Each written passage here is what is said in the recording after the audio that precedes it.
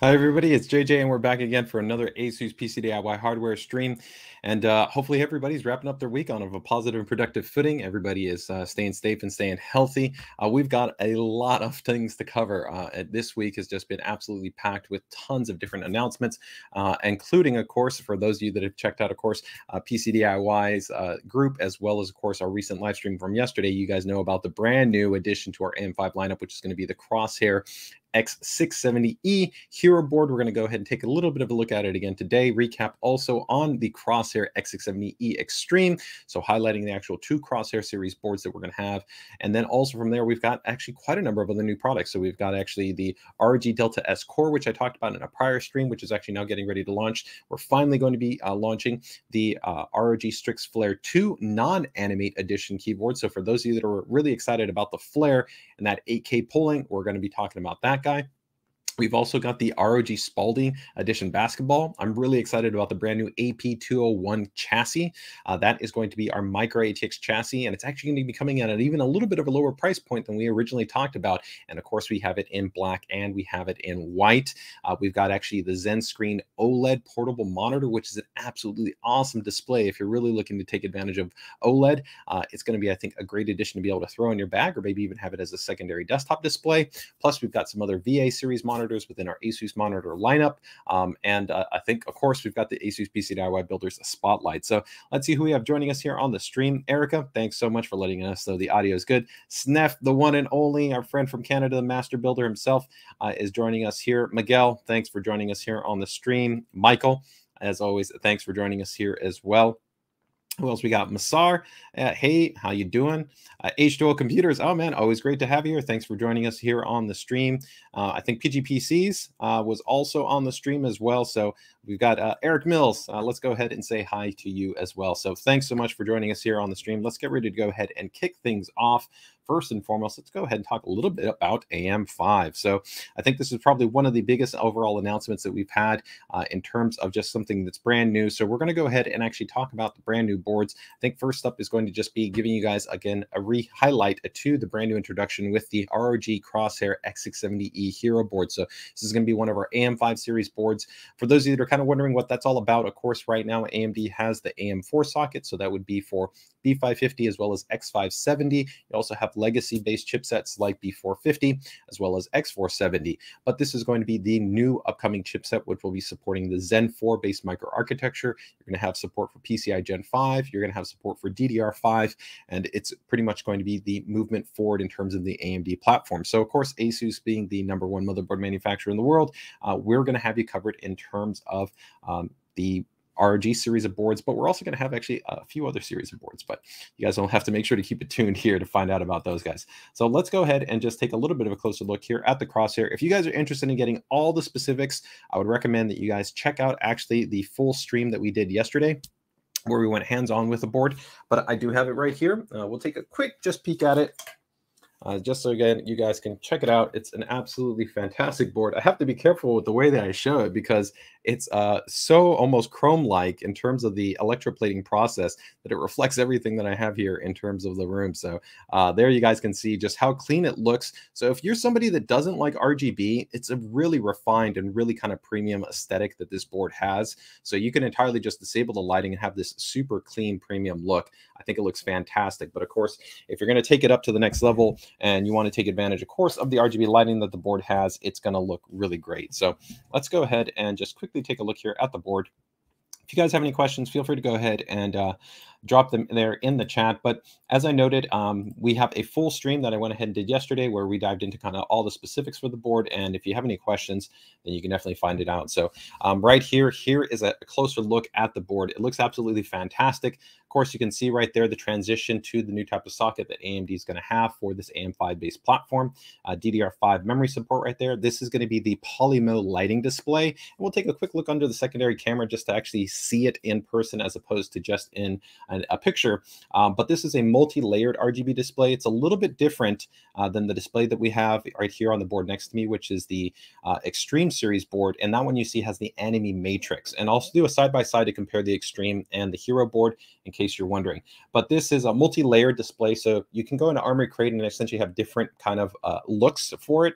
And you can control the lighting for it, but you can't define your own uh, kind of um, image or animation like you can with the Anime Matrix. Okay.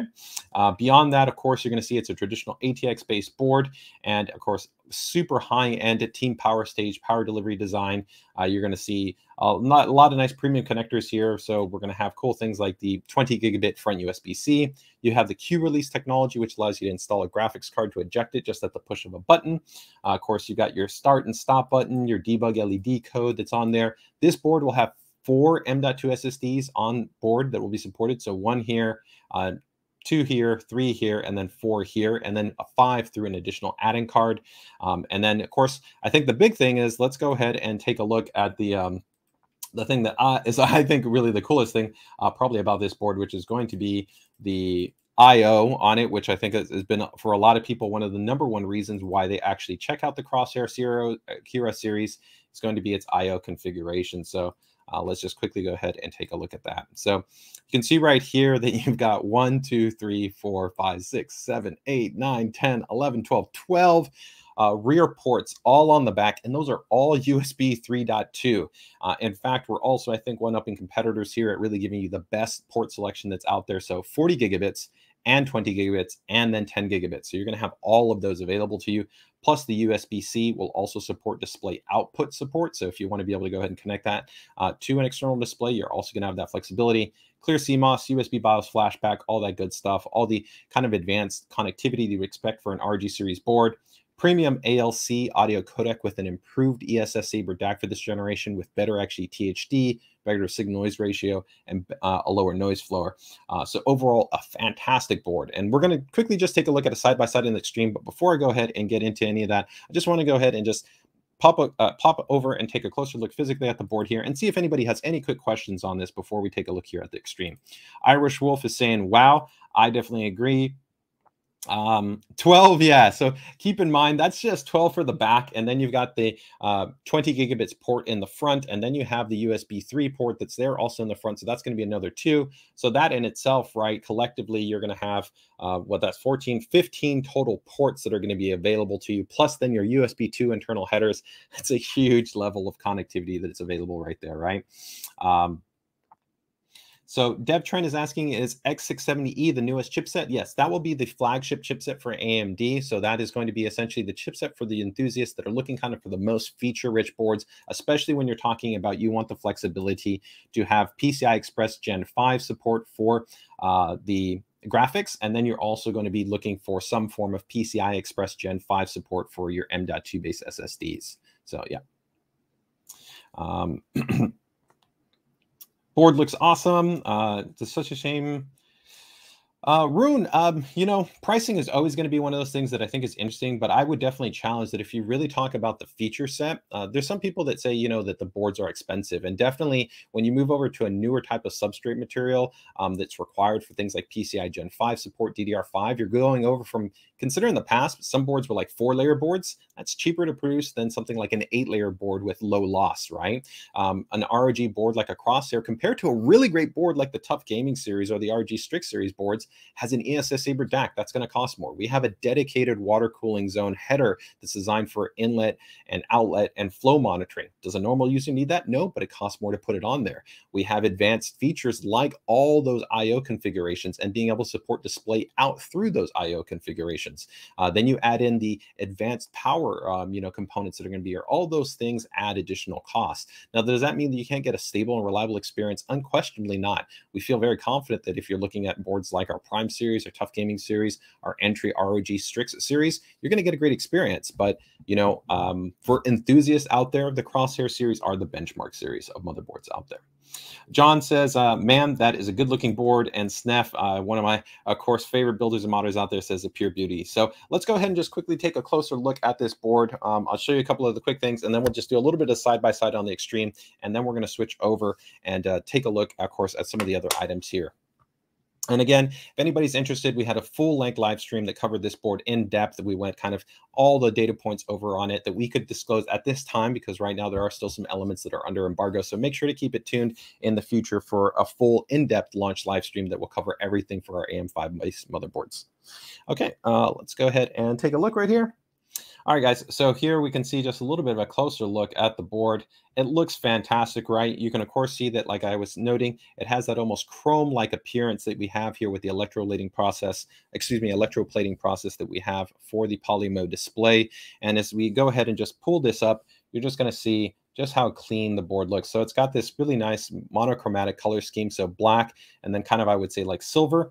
Um, and it goes really great with the foundation of kind of any build you're looking for. There's no fixed colors. And then of course you can do all the accents that you want through, of course, RGB lighting. You'll see these super large VRM massive heat sinks. They're even larger than the prior generation. Um, absolutely just beastly. You got that full, of course, heat pipe that's in there. Um, very, very high performance based power delivery.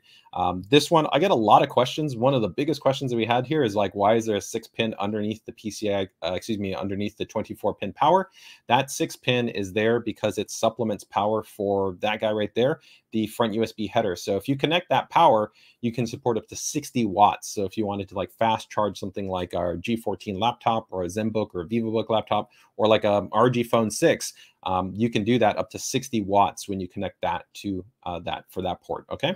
Um, another feature, of course, probably a lot of people know about is going to be this one right here. This is the Q release technology. So we uh, unveiled this on AMD based, excuse me, on Intel based systems, and now we're offering it on an AMD based system. So let me go ahead and just quickly show it. I think probably most of you have seen this feature now, but in case you haven't, let's go ahead and show you uh, what it's all about. So of course here you've got your PCI Express slot and you'll see right there that the latch is kind of pretty difficult to access it, especially with this really big heatsink for your uh, PCIe NVMe based SSD. So the cool thing right here is that if you wanted to go ahead and take advantage uh, being able to easily remove your graphics card, you would have your graphics cards installed, but you could see how am I supposed to get to that latch? So in the past, you would have to have maybe something very thin. You try to push down on that and eject it. But now there's that button right there, that Q release. And all I need to do is just pretty much hold down that button and I can pull the graphics card out. So it makes the uh, installation and the removal process really, really simple. If you're troubleshooting, if you're upgrading, if you're cleaning, whatever it might be, it just makes the process super easy um, and very, very easy to overall work with, right? So again, just hold down that button, pull it out, and you're good to go. So it's a really kind of streamlined experience uh, for those of you that, again, are going to be upgrading, cleaning, removing the graphics card, whatever it might be. Um, it's a very, very simple overall experience, okay? So that is pretty cool. And uh, I think that's all the main things I want to show there. I want to go ahead and double check, make sure we have any questions before I just show the quick comparison between the Extreme board um, so give me one second here. Let me see if we have any questions that have popped up right here. Tony says, I will take two. Pretty cool. Um, so let me see here. Uh, how many M.2 SSDs can work simultaneously without disabling any of their features? So Marco, we can't talk about PCI lane mapping because that's all part of kind of this technical performance aspects of the chipset. So just make sure to go ahead and keep it tuned. Rest assured that we'll talk about PCI lane mapping configuration when we get to the launch. We'll actually cover that in depth in terms of kind of the launch live stream, where I'll help you guys understand that if let's say, you know, how is the actual the the slots allocated? Do you have like a 16 uh, slot and then a by eight by eight type of configuration? You know, um, are you linked to this type of uh, chipset lane? Are you linked to the CPU? You know, how does that configuration work? There's a lot of variables, and that actually adds elements in terms of the cost and the complexity of one board versus another board. But definitely rest assured, we will be uh, talking about that. Okay. Yeah, um, Ada DK, you know, we rolled out that feature on Z690. We put it on a lot of motherboards. We put on Strix series motherboards and Maximus series boards, but it's physically more uh, expensive because, of course, there's a mechanism that's built onto the motherboard to allow for that. So with TUF Gaming, you know, we're trying to also give you a really great board, but at a little bit more of an aggressive price point. So that was the main reason why it wasn't present on there. Okay.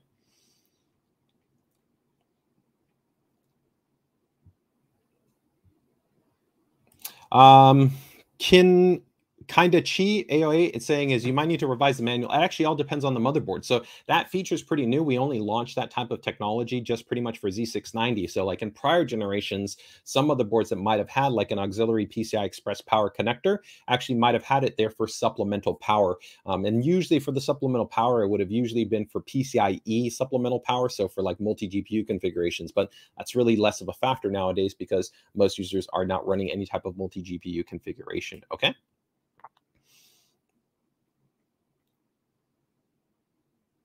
And let me just see. Um, Rocky's asking how many SATA connectors will it have? It has on the board, again, we can go back here just for reference. Let's go ahead and just take a look right down there at the bottom. It has six SATA ports that are on the motherboard. And again, in terms of your M.2, you've got one that'll be right here. Then there's going to be another one right here. There'll be another one right here. And then there'll be another one right here. So there'll be total of four. And this board also does have what we call the dual-sided M.2 uh, design, which means that there's essentially a heatsink on the underside, and then there's the heatsink on the top side. Um, and that is going to be present for three of the drives, not four of them. But all four of them also do feature our Q-Latch technology. So you'll be good to go. Masar is asking about a PCI riser cable. Um, keep in mind, I don't advocate PCI riser cables. They can tend to be more problematic in terms of having uh, signal stability. Um, many times they're not fully EMI validated to be able to ensure. But as long as you get a high quality cable, eventually, if there's going to be a PCI Gen 5 riser cable, then there shouldn't be any interoperability issues. But keep in mind that the PCI signal, um, when you went over to PCI Gen 4 versus PCI Gen 3, and then also similarly for PCI Gen 5, it's extremely stringent and very sensitive. So the quality of the cable, the length, a lot of these things matter in terms of helping to ensure uh, really the best experience possible. Okay. All right, uh, so let's go ahead and quickly just uh, take a closer look here at the extreme so that we can take a look kind of quickly at the differences. I'm going to quickly show you just kind of a side-by-side -side image difference, and then we'll also just quickly take a look at the spec difference, and then we'll wrap things up on that, just because uh, I know that maybe some of you have already kind of checked out our stream from yesterday. So let me go ahead and just bring up our two images right here and we'll be good to go. So give me one second here. All right, we've got one right there, and then we've got the other right there. Okay, perfect. so uh, for reference, guys, this is going to be the X uh, excuse me, the X670E Extreme, and then also the X670 Hero. So these are both under our Crosshair series. So people always wonder kind of what's the fundamental difference between those series of motherboards is that it's important to keep in mind that when we're talking about kind of our positioning, TUF Gaming is our entry series gaming boards. Then we have ROG Strix, which is our kind of mid-range enthusiast, and then ROG Crosshair is part of the ROG Formal series. No Strix in the naming. Those are our flagship series gaming products, okay? So here we can see that we've got the X670 Extreme, and then we have the X670 Extreme um, Hero. So uh, both of these boards are essentially going to be very high end, but there are some differences. Of course, here we can see this is ATX. Here we can see this one is EATX. This one has the Anime Matrix based display. This one has the Polymo based display. This one has the OLED Live Dash Stat display, which is a two inch display that lets you show things like frequency, voltage, temperatures, different readout uh, points. They both have the Q latch technology. They're both four DIMM based boards. They both have 20 gigabits. They both have that 60 watt fast charging technology. They both have extremely high and high performance based VRM designs, although the Extremes is even higher end. Um, both of them are using SPS based power stages, 110 amps, 45 amps in terms of the uh, rating for the microfine alloy inductors, um, 10K rated capacitors on both of those, which is generally twice the standard in terms of the industry. You'll see that there's actually side RGB lighting that's on this board as well, where this one does not have it. This also has right angled connectors with actually more specialized connectors as well for things like the breakout ARGB and fan controller that's included in the box. And then they both have the same premium audio design where you have that new ESS Sabre DAC and amp, which is built on board. So um, uh, the overall configuration too, in terms of the M.2 SSDs, they both support up to five, but they support them slightly differently. So this board also has multiple M.2 SSDs that can be installed directly on there. But one cool advantage is that right here you see this Gen.Z.2. This is the new specialized PCI Gen 5 add-in card that can be installed directly on the board right next to the DIMMs. So that's really cool because even if you have a graphics card, everything installed, you could literally just take out the card, put it on there, and then put it back onto the board, and bam, you would be good to go. Um, so now let's go ahead and just quickly take a look at the difference in terms of the I.O. configuration between the two. They're both super stacked, very, very uh, impressive in terms of the I.O. configuration on both of these boards. So it's not like we're talking about a massive difference, um, but there is a little bit of a difference. So let's quickly take a look here. Uh, this is again on the extreme, right? And so we'll see right here, 12 ports on the rear, okay? But you have dual LAN, 10G and 2.5G, and then Wi-Fi 6E. You still get 40 gigabits and 20 gigabits. And again, you have the 20 gigabits up here in the front. But uh, this board, oh, sorry. Uh, this board does also have uh, the USB-C. There's two internal USB-C headers. So one and then a second, okay? Uh, and there we can see right there, there's that actual um, Gen Z uh, .2 add-in card and then the Hyper M.2 add-in card. And then when we go here to the Hero, you can see the Hero is pretty much almost the same, 12 ports, right?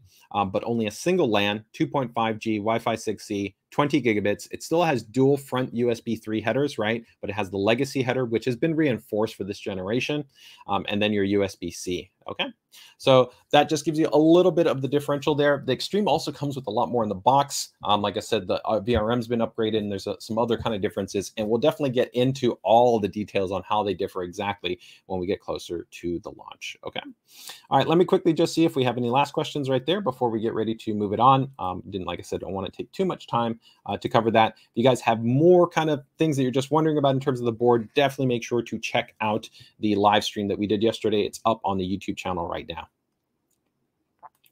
Um, Michael's asking, what are the specs of the PCIe 5 drive? There's no drive that's included. So um, the actual interface is designed for PCI Gen 5. So that means that whatever drive you would put on there. So take, for instance, like Phison, who's an actual controller company, has already demoed, you know, drives that are showing 10 gigabits or even faster than 10 gigabits.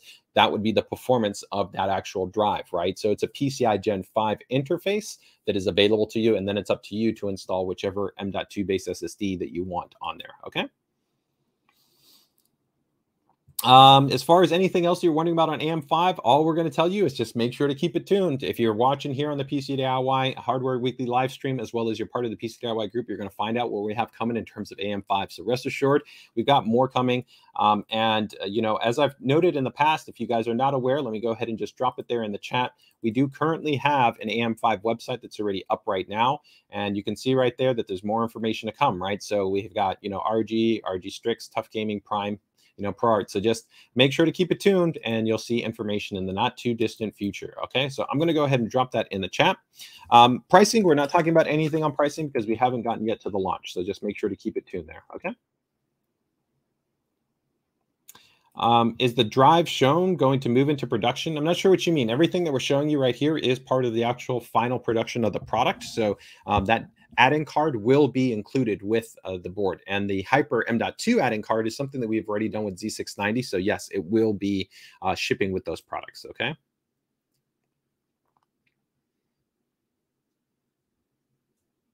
Andy, thanks so much. I really do think that they're fantastic looking boards.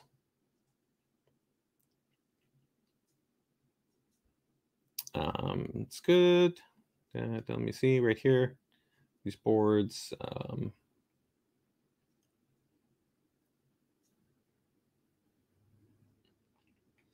Hey, Michael, uh, we'll be talking about the AP201. So if you have more questions, hopefully on the AP201 in a little bit when we get there, hopefully you'll have them answered. If not, of course, you can make sure to go ahead and uh, you know, just let me know in the chat, or you can go ahead and tag me in the PC DIY group. Okay, so that uh, goes ahead and wraps us up for uh, just the updates that I want to go ahead and touch on. Again, we're really excited about AM5. We're going to have a full dedicated live stream that we'll do uh, just like we've done for all of our chipset launches, where we'll cover all the motherboards in depth. We'll talk about all their features and functions and design differences. Hopefully, we'll also be able to do very closely to the launch, um, you know, a performance kind of insight like we did for 12th gen series processors, where we can show the UEFI, talk about tweaking and tuning, um, you know, go into all our kind of features and functions in a live fashion to make sure you guys have the opportunity to really understand all the cool stuff that we're doing for our AM5 series based motherboards. Okay. All right. So uh, let's go ahead and get ready to keep moving things along. All right. Very, very cool.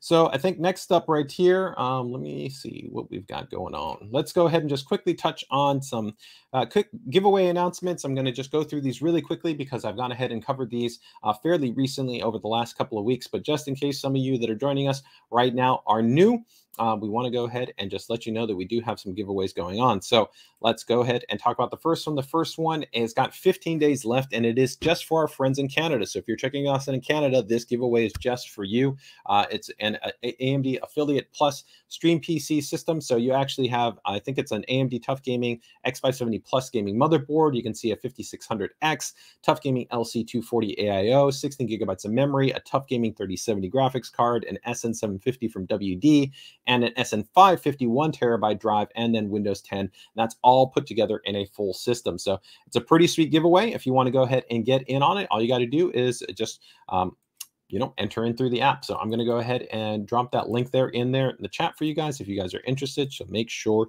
to go ahead and get in on that one. Okay. Um, John, sorry, if you have a question, just make sure to go ahead and drop it there for me in the chat when I can. Like I said, it's, you know, I've got to monitor, you know, what I've got going on here as well as intermittently checking to see what is posted there in terms of the chat. And if I can answer your question, I will try to make sure to get to it.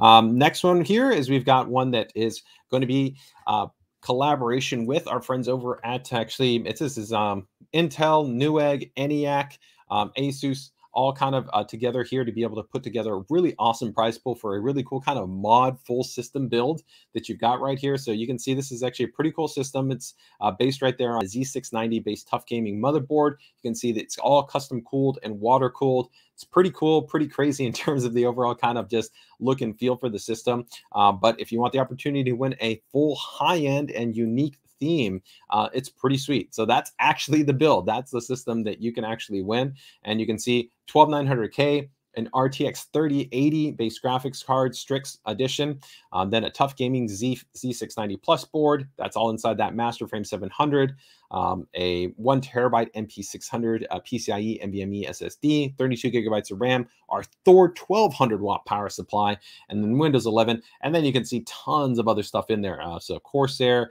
and, and PrimoChill based components there for the water cooling, Lian Li Strimer cables, and even that little speaker soundbar, you get that included in there. So uh, that's all part of the giveaway. So I'm going to go ahead and drop that one in the chat right there.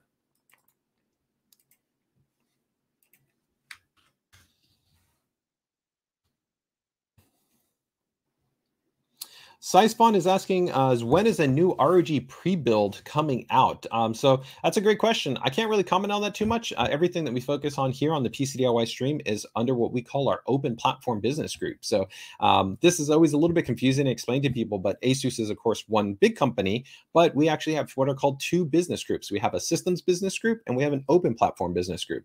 So our open platform business group covers pretty much all the components uh, that we produce. And then products like systems, which include everything from like tablets to phones to laptops to desktop systems, um, those are all under our system business group. And they're kind of two separate businesses and two separate teams. So we don't focus on anything in our systems business group on the stream because it's not PC DIY. Although you could definitely upgrade, you know, a pre-build based system. Um, so we don't cover any of those type of products. Maybe in the future, we're going to actually have a dedicated systems um, kind of live stream that will focus on things like our laptops, our phones, and, you know, desktop systems. But this stream focuses just on our PCDIY hardware. If you're wondering about it, maybe a specific product that we might have announced, if you want to go ahead and email me, pcdiy at asus.com, I'll see if I can go ahead and uh, look into it for you and see if I can find out that information. Okay. All right. Um, Next up, of course, we've got, you know, the mother of all giveaways. Everybody has been getting in on this one. This is our ROG Evangelion worldwide base giveaway. So, of course, we're uh, giving away up to $8,000 here in terms of total prizes. Um, an absolutely just awesome prize pack, right? One grand winner is going to win the 3090 1000 watt power supply and then EVA edition um, M.2 enclosure. Then we've got the runner up, which is a 3090 and a 1000 watt power supply. Both the power supplies are the Thor 2 edition power, power supplies. Then we've got the second uh, runner up prize, which is my, I think, my favorite prize, which is the Maximus Z690 Hero, the Ryujin 360, and the Helios chassis. Uh, that's an awesome prize pack. And then we've got three runner up prizes with the Delta S headset and the Keris Wireless. Um, mouse along with the script uh, the strict scope rx uh, keyboard and then the scabbard 2 uh, desk mat. And then we're also got here you can see giving away the monitor and then our 2.5 gigabit and wi-fi 6 router. Um, so that's pretty sweet. So all you got to do again to get in on this one is just drop your uh, link uh, drop excuse me drop your entrant information into the app. So we'll go ahead and drop that one in there all right, so that takes care of our giveaways. So let me go ahead and just close out of theirs and I dropped the AM5. Let me just quickly see if we have any other questions that have come, come up right in there. Um, MUFC 14, can you post a link where to buy the ROG Phone 6? Again, like I said, we don't focus on any system related products in here. There's no actual link either because I can tell you for North America at least, we're probably not getting the ROG Phone 6 until somewhere in about maybe probably September timeframe. So make sure to just watch our social media channels. We'll definitely provide visibility once it's kind of becoming available. Um, and that would include availability from like the ASUS store, which will probably be the first place to list it online, and then followed up by kind of our other e-tail channel partners in terms of availability. But uh, we're still looking probably sometime until maybe September in terms of availability. Okay. Um, pushing Polygon says, when we'll we be seeing ATX 3.0 power supplies on the stream in the near future? For one, uh, this specification is brand new, and so it's going to take some time to see it kind of roll out. But it's not necessarily kind of a requirement, right? Because um, if you talk about actually kind of the way that power supplies are designed, there's a lot of flexibility when the actual development occurs to be able to actually tailor it to align with the merit of what the PCI uh, excuse me, with ATX 3.0 specification is attempting to put forth, which is a focus on transient performance, uh, which is complementary to kind of higher end graphics cards. This is also kind of in alignment with PCI Gen 5 um, base, you know, next generation graphics cards and things along those lines. And so are like Thor 2 current power supplies are actually already kind of very high performance based solutions, and they come with a PCI Gen 5 based connection for those next generation based kind of graphics cards that use that, or actually some of the, the cards that have just come to the market, like the you know 3090 Ti, take for instance, right, that have that. So, um, but you know, we're always actively working in terms of the forefront to have kind of the latest generation gener- generation specification support. But as always, specifications take time in terms of not only from being kind of being finalized, but then in terms of being actually integrated into a product design and then actually being produced. And especially still with the state of the industry where you have, you know, things like logistic challenges and a lot of other variables that are occurring right now, just in the state of uh, kind of communication in the world environment that it is these things take time. So it's probably still going to be a bit before you see anything that would be based on that new specification standard okay? All right. Um hey angel what up man? Happy to have you here on the stream. Thanks so much for joining us here okay uh, Johnny Boy, as we noted, in terms of actually anything that comes to the PCI lane mapping, we won't be talking about the PCI lane mapping today. We'll be talking about that once when actually the embargo lifts, um, just because all that is kind of defined in with some of the performance criteria. So um, definitely rest assured in our full dedicated live stream that covers all the motherboards, we'll go into any PCI lane mapping configuration um, kind of uh, factors uh, relative to each board because different boards, depending actually on how the actual PCI lane, uh, quick switches, redrivers, and layout configuration occurs, will have very different kind of experiences, right? So that is a very good question, uh, and it will vary depending on model, but we can't go into that right now. Okay. All right. Um, Evangelion asking about Wave 4. No, if there was Wave 4, I would be letting you know about Wave 4. So Wave 4 is not going to be happening. And Wave 2 and 3 pretty much finally just about hit. Um, I think that, you know, earlier this week we had pretty much the majority of those items finally start to come online. Um, I'm working to try to find out on when we might next get a next batch refresh because I know that actually quite a number of the items already just pretty much almost sold out. So I know there's some people kind of hoping to be able to pick up on that again, but um, I'm still waiting for some feedback from our product management team on when we might get refreshes for items that were present between uh, wave one, wave two, and wave three. And wave four probably will have a little bit more information, thinking maybe next week. Okay. So just make sure to go ahead and keep it tuned. Okay. All right. Um, let me go ahead and get ready to go into our next question right here, and then we'll go to our next item. Um, see right here. Are there any plans on EKWB collabs or the like? I'm not sure what you mean by collab. So you know, we work already very closely with EK, and we do a lot of different stuff with them. As far as what we may or may not do in the future, I can't comment on that. Um, you know, they're a great partner, but we have a lot of great partners that work with us in terms of water cooling for interoperability support. You know, like on our Strix series. Um, actually, I'm pretty sure that we're the number one graphics card board partner in terms of block support. Uh, the only other card that technically has as many, or maybe a little bit more, would be the standard kind of FE based card. But you know, we have support from Bitspower, from EK, from Phanteks, from uh, Thermaltake, you know, from uh, pretty much uh, from Optimus, from almost all the key kind of water cooling uh, vendors. And then, of course, on motherboard side, we've got tons of support there on the motherboard side. And we've done a lot of stuff like even what you have right here, which is the EKWB Asus Edition graphics card, right? So um, there's always, always things that kind of we're working on. Plus, you've got boards like, you know, the Maximus Formula or the Glacial, which were collaborations also with EK. All right, um, let's get ready to go ahead and get into the next item right here, guys. Uh, and we'll keep moving things along. So I think uh, the next thing I want to go ahead and talk about is just again, um, let's go. Let's go with the keyboard. I think keyboard. Let's let's let's check that out. So we've got the ROG Strix Flare 2. This is going to be an update to, of course, the original Flare, which is a very, very popular key, uh, keyboard that we offered. Uh, but this one is going to be bringing about some definitely some very cool stuff. So let's go ahead and take a look at this guy and just talk a little bit about some of the cool elements on what we've got for this keyboard. So um, here you guys can actually take a look at this really cool, of course, keyboard. Um, the kind of the big updates that I would say for this generation in terms of what you're going to have is that this one will be featuring an 8K based polling. So that's going to really allow for ultra fast, of course, input response. Keep in mind that polling at that rate does really kind of often work through the USB 3 bus interface and actually can take a little bit of CPU resources.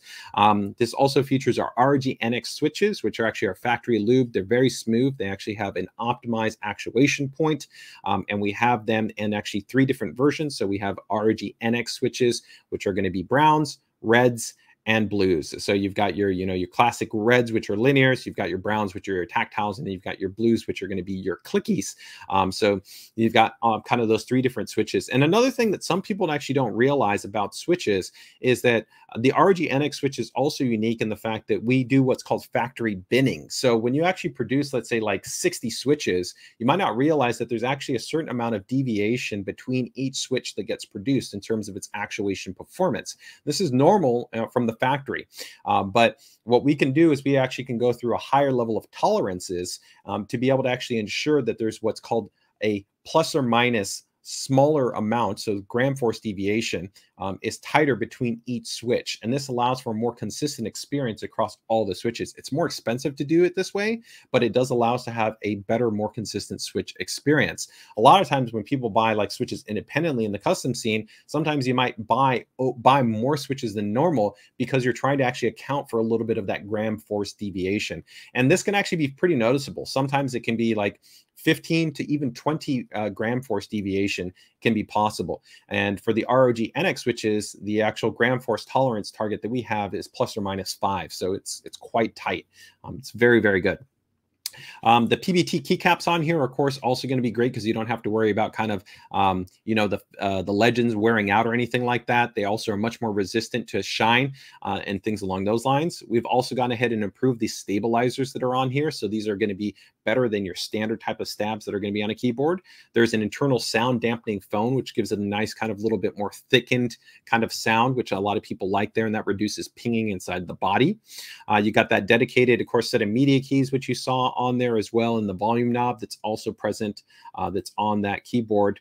And of course, you have that rest rest, which is included. It has onboard memory, so you can, of course, store multiple profiles. You have, of course, custom macro support, and there's a USB pass-through support on there and hardware level lighting control. So if you actually use the function key and the arrow keys, you don't even need to use our software, but you can actually adjust the lighting and brightness and switch through different modes all directly from the keyboard. So um, it's a very cool keyboard. Now, of course, you know, if you're not fan of a full size, we've got tons of TKL based options and even things that get smaller, like what I'm using right here with the Falchion at 65%. But if you're team, if your team numpad, you know, you want your 10 key, then this is a pretty sweet keyboard um, to be able to check out. And definitely it comes in a bit less than, of course, the standard keyboard, uh, excuse me, not the standard, but the higher end version of this, which is going to be the ROG Strix Flare Animate. And the Animate is going to be a bit more expensive because the, of course, the Animate has hot swap switches and it also has an LED diffuser in that wrist rest. So you get this really cool kind of LED bar in the front, kind of like what you see right here on this keyboard. You get that in the front, but you also, even if you put the wrist rest, you also get the diffuse bar that's going to be there. So, um, let's just quickly go recap through that and I'll see if anybody has any questions. And as you can see, um, 179 is going to be the price point and we'll be pretty much having the, all the availability for all three of them at about the same time. So that will be for the red, the blue, and the browns. Okay, so all three versions will pretty much be available around the same time. Okay. So there you can see the keyboard really nice uh, in terms of the overall kind of just clean, refined aesthetic. And of course, this media key right here, um, you can do play, pause, skip track, volume adjustment. Um, it's all accessible right there. Feels really nice too. That 8K polling rate that's available right there. Again, you've got your blues, you've got your browns, you've got your reds. PBT keycaps that come included with that, so no extra cost to you. And these do support standard Cherry MX stems, so if you wanted to go ahead and use your own keycaps, you could replace them. The sound dampening foam on the inside, uh, the dedicated media keys that I talked about there, the detachable wrist rest if you uh, want to go ahead and use one, and of course that USB pass through, which is great for things like putting like maybe if you want to have your wireless adapter for your wireless mouse, like maybe like our ROG Gladius 3 or the Keris, or you know maybe something like a flash drive, then you could do that. Keep in mind though it is only USB 2. Okay. All right. Uh, let me quickly just see if we got any uh, quick questions right there on the Flare 2, and if not, we'll keep moving things along. Um, Nelson is asking, does this come in white? This one does not come in white. It only comes in just that color. Um, but uh, let me go ahead and show you right here. We do have, if you're interested in white, I think I can bring it up right here. Yeah. We do have our Moonlight White. Um, so this is actually our Moonlight White ROG Strix TKL base keyboard. It's pretty much the same keyboard that I have right here next to me. This is the black version, but we have it in white. And the white one does come with our ROG NX switches. So you still get those premium ROG NX switches that I talked about. It has a detachable cable, which is really cool. So you can go ahead and customize the cable if you wanted to. Um, and I really like the TKL base form factor. It allows for a little bit more flexibility of positioning, especially for gaming. Um, a lot of the features are similar on this model, uh, but it is not uh, excuse me, but it doesn't have the sound dampening foam. We also do have an updated wireless version that just came out, but that one's not in white. But if you want white, this would be the one that I would check out. Okay.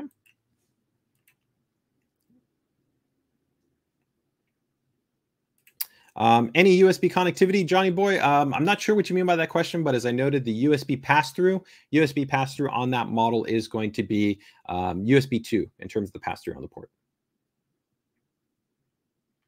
Um, John, no accessories that we sell right now directly, but you can always reach out to our services support team. They may be able to see if maybe we have something on hand. Um, I can't guarantee that, but you know, you can check with them and see what they may have available. Okay.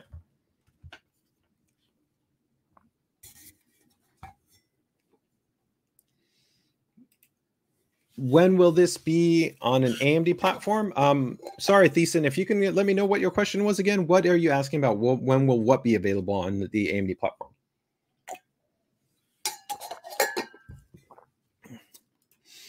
Uh, pushing polygons, what on the keyboard actually determines the USB? So that's actually defined generally by the MCU, which is the actual microcontroller. So there's actually a chip that's built onto the PCB board that defines the actual input uh, protocol. Um, and generally, most of those, because there's no reason to use USB 3, uh, they generally are going to be using USB 2. But um, as you're kind of moving up to more advanced controllers that are offering more functionality and, like I said, higher polling and other things like that, there's the potential for them to kind of move into USB 3. Part of the other factor, too, is also power consumption. Um, you know, it's actually gone up for keyboards because you now have things like RGB lighting and other things along those lines. But there's a lot of kind of pieces that go into the kind of the componentry that gets integrated and what may or may not be possible on, on the keyboard. Oh, PGPCs, that's a really good question. Is the ROG plate removable like on the original Flare? So yeah, the Flare had that really cool little plate that you could customize. We actually found that some people use that, but not that many people. I thought it was a really cool feature, but this one does not. So it is fixed on that model. So if you did kind of like that, that is something that is not present on the ROG Flare 2.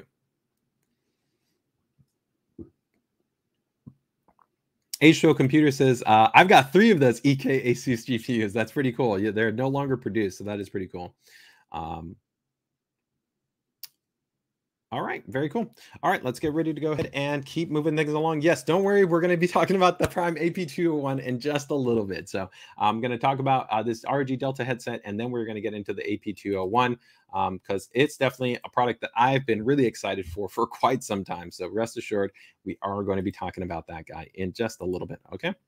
All right, so let's go ahead and keep moving things along here. That is going to be uh, the ROG Strix Flare. Um, this is just going to be a quick update. So um, uh, many of you guys know if you if you've seen uh, kind of recommendations in the group, I'm always recommend the ROG Delta. It's my overall favorite gaming headset that we do offer, but it is definitely a little bit on the more expensive side, and that's because, of course, it has a lot of premium elements like that ESS Quad Sabre DAC technology that's built into it, native USB-C interface, right? That really cool, of course, dynamic RGB lighting. Uh, but there's some other cool things that, that are really work well about the Delta, which we, if we remove, we can still maintain um, and be, be, able to offer at a lower price point. And that's what we're trying to target here with the ROG Delta S Core. So let's go ahead and take a look at this guy and see just how it kind of stacks up and where it sits within the relative landscape. So um, let me go ahead and bring this one up here. Okay. And allow you to go ahead and check this out here.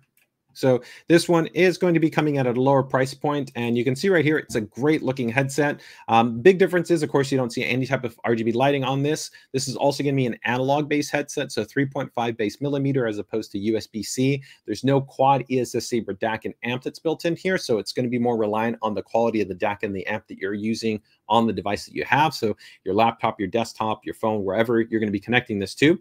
Um, it does, of course, still utilize the similar design in terms of the overall headset. So it's still lightweight. This is using a very lightweight based overall body and composition. So 279 grams. I think anything under 300 grams is really actually very comfortable. You can wear it for a long amount of time. One of the really cool things I do like about the actual Delta is, is that we actually give you two sets of ear pads uh, or ear cushions. You still get that with this model. So one is going to be more of an isolated based um, pad which is very comfortable and gives you actually, a, I think, a little bit more of a, a, thump, a little bit more of kind of an isolated sound. Um, but it can be a little bit warmer. And then the other set of pads um, actually reduce the isolation, but they have even much, much better breathing ability. So if you kind of run maybe a little bit hotter or maybe you're a little bit ambient environment, you can pick and choose which one you want. You can just remove the ear pad and then go ahead and replace the ear pad. We also have gone ahead and updated uh, the actual material to even be more abrasion resistant. So you actually can really have a high quality lifespan out of there. You can see you have on ear cup controls that are also present on there. We do have strain relief built into both sides of the connector. So you don't worry, have to worry about like fatiguing or wearing that cable out. And overall, it's got that really just nice kind of clean aesthetic um, that the Delta has. So I think they're, they're a great looking headset. They sound really nice too with a 50 millimeter Essence driver. They're really solid for music, movies, or games. But again, keep in mind compared to like the higher end Delta, which has that quad DAC technology and that amp built into it, which allows it to have a very consistent sound experience on whatever device you're connecting to. This one is going to be a little bit more dependent based on the device you're connecting it to. But if it's got a good, uh, you know, sound card uh, in there, then you can expect a good quality uh, experience and definitely um, nice, solid mid range, uh, good, well defined bass it's not muddy, and good clarity on the upper end. And the microphone's quite solid. Uh, of course, it's a it's a boom, and you have to kind of directionally make sure it's aligned there, but it's clear, it's intelligible, um, and it, it's not, I'd say, a weak sounding mic. So overall, solid choice for seventy nine ninety nine there. All right. Uh, let me go ahead and I just want to quickly show you right here just how the kind of the landscape for the deltas line up because I know some people kind of wonder like, oh, hey, you know, what is the difference between all these different models right here? So give me one second right here. Michael says uh, the old school red and black combo never goes out of style. Yeah, it's got that classic kind of ROG vibe on it, right? Because we went back with the kind of the classic styling. Um, I think it works really well. Okay, so here again, this is going to be 3.5 millimeter, uh, 50 millimeter Essence drivers, right? And of course, with it being 3.5 millimeter means you can pretty much use it with whatever you want, right? On ear cup controls, which we went ahead and talk about. And here you can see the entire kind of lineup that we have for the ROG Delta. So it's quite expansive, right? So um, we have the Delta Core S, we have the ROG Delta S wireless, which just came out, which is now finally our wireless Bluetooth and uh, 2.4 gigahertz, the Delta S Animate and the Delta S, which are pretty much the same. It's just the Delta S Animate has the, of course, customizable display on it. The Delta S is the lightweight edition of the original Delta, uh, along with the AI noise canceling microphone. Um, it does also have the improved ear pad design in terms of even being more durable. The Delta is still my overall favorite, even though it was the very first one that we launched. I think it's overall my favorite sound signature. Um, still very reasonable in terms of the price point, and that one's the native USB-C with the quad ESS Sabre DAC and amp. And then you go to the Origin, which is USB-C, but no ESS Sabre DAC and amp built in and then the Delta Core. And the Delta Core is very much like the Delta S, where they are kind of the most entry level models that don't have the DAC and they're 3.5 millimeter base. And you can see down there at the bottom the big differences in terms of kind of the weight, where you can see with the Delta S Core, it's the lightest. Um, the lightest model within the entire stack, right? So 270 grams versus if we take a look like at the original Delta, you can see the original Delta is 387 grams, which I wouldn't say is heavy, but it's noticeable. Um, it's, you know, for me, it's entirely fine, but I could definitely see how somebody that's maybe a little bit smaller might want something a little bit lighter. Okay. And uh, this one should be coming out in probably about the next about two weeks or so. Okay. All right, let's get ready to talk about the AP201, but let me go ahead and just see if we have any questions right here uh, for anybody in the chat. And I believe I also dropped the link there um, for the uh, Flare 2. Uh, John's asking, do you have any promotion codes for the Ryujin 2 LC? Um, no, we did have one not that long ago, but if you're wondering about that, let me actually show you something that we do occasionally update. You want to make sure to keep track of it, and I'll drop the link in the chat. So we have actually this program that we call Asus Infinity. So if you actually go to the Asus Infinity, you'll see that there's different tabs here. It says like motherboard, monitor, routers, gaming peripherals, chassis, power supplies. So we actually update these, and you can see that we'll actually have promotions on different types of items uh, that are available. So um, you can actually see like right here, this is still, um, it's not as good as the deal that we had a little bit earlier where it was like $60 off. But here's like the ROG Strix 1000 watt power supply you know, $30 off right now that you can get it, right? Or if you're looking at maybe one of our chassis, you can actually see right now the Helios. Hey, you can save 20 bucks on the Helios. Or uh, peripherals, usually we have really, really nice actually promos sometimes on the peripherals, like the ROG Strix Scope, one of my favorite keyboards that we make.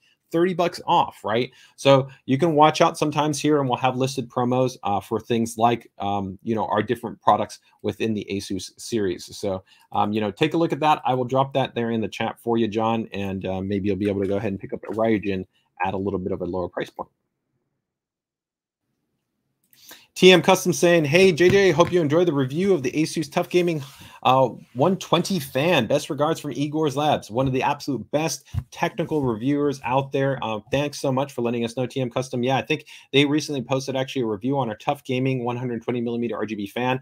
Um, I think it's actually a great all around fan. If you talk about the price point that it's at in the US, it's under $20. Um, it has a dual um, array LED based design. It uses a very premium fluid based bearing, which is very rare at that price point.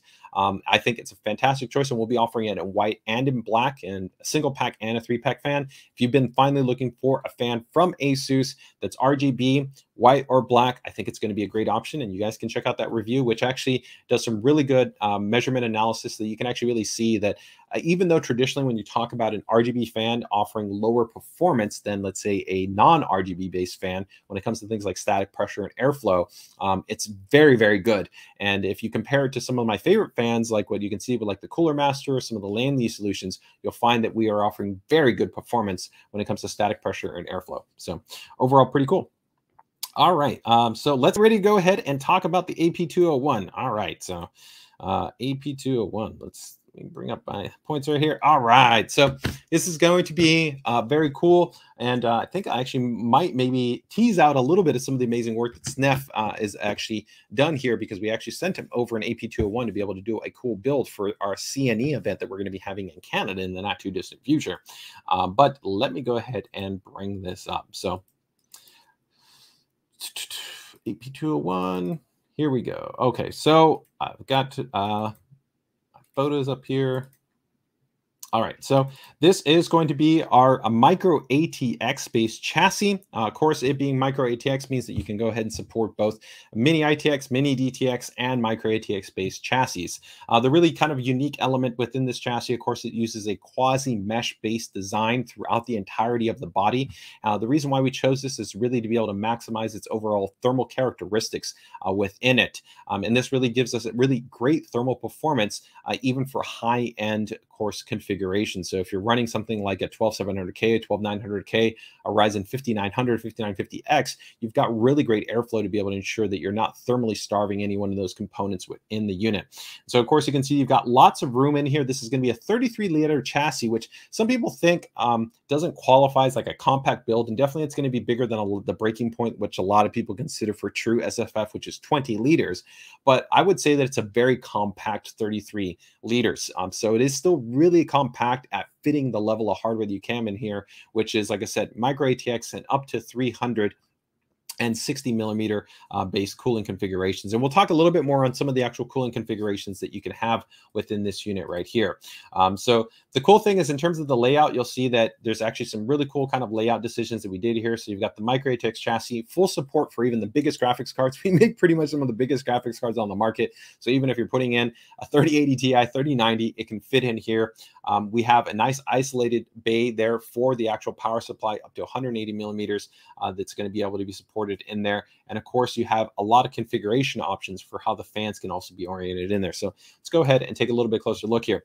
Um, now, this is the crazy part 57,000 holes with the quasi mesh pattern. The cool thing about the actual pattern is not only does it actually allow for great thermal performance, but it also offers for a very kind of distinctive design aesthetic. So you actually will notice this and you actually still get a little bit of kind of a silhouette ID so you can see the components on the inside as well as actually kind of the RGB illumination as opposed to a chassis which just has just sealed panels, right? So that also gives you a little bit of difference. In terms of the front I/O, you've got USB 3, and this is also a 10 gigabit rated USB-C port. And the other thing is, if you look at this price point, it's quite competitive, right? $80 for the white version. Uh, excuse me. Um, actually, this is the other way around. Sorry about that. Let me edit that quickly. That should actually be the other way around. So it should be, I believe, $79.99 uh, for the white, and then um,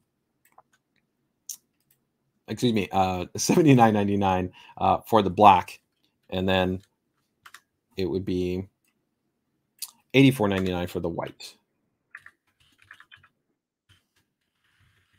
So tweak that. Okay. All right, there we go. All right, sorry about that. Just had to make sure that that was corrected there. Um, of course, we have this really nice, simple and secure clipping mechanism to be easily be able to access the drive, excuse me, not only access the drives, but the internals for within the chassis. Uh, 32 millimeters is nice. That's actually a pretty good amount of cable root, uh, cable management options. So even if you're going to be putting things like fan controllers, ARGB controllers, or of course, just be able to manage your fans uh, and manage, of course, your power supply leads, that you've got a nice amount of room that's there on the actual backside. And of course, there you can see the two different colors. But here, let's go ahead and dive a little bit closer and actually take a look at some of the permutations and the configurations that we have available in terms of how you can lay out some of the items on here, okay? And we'll also just kind of to go through a little bit more of a general flow right here in terms of the chassis. I'm going to switch over to the black version uh, just so we can just kind of see the little bit of the layout, just difference in terms of the black versus the white. And so here you can, of course, see the internal uh, the internal layout in terms of the actual chassis. And it does come installed with one fan just for the front, and then the rest is going to be entirely up to you in terms of how you want to go, go ahead and configure things. And then you can see here's the pass-through cable that you'll have. So here's where the power supply cable will attach at the back. But then you're going to see you have a cable right here that would connect generally to the bottom for the power supply, right? So you would mount your power supply here, and then you would go in there. And you can put an SFX-based power supply, but it does support traditional standard ATX-based power supplies. And then you could optionally mount something like here, like a fan controller, an ARGB controller, of course, an SSD. It's entirely up to you.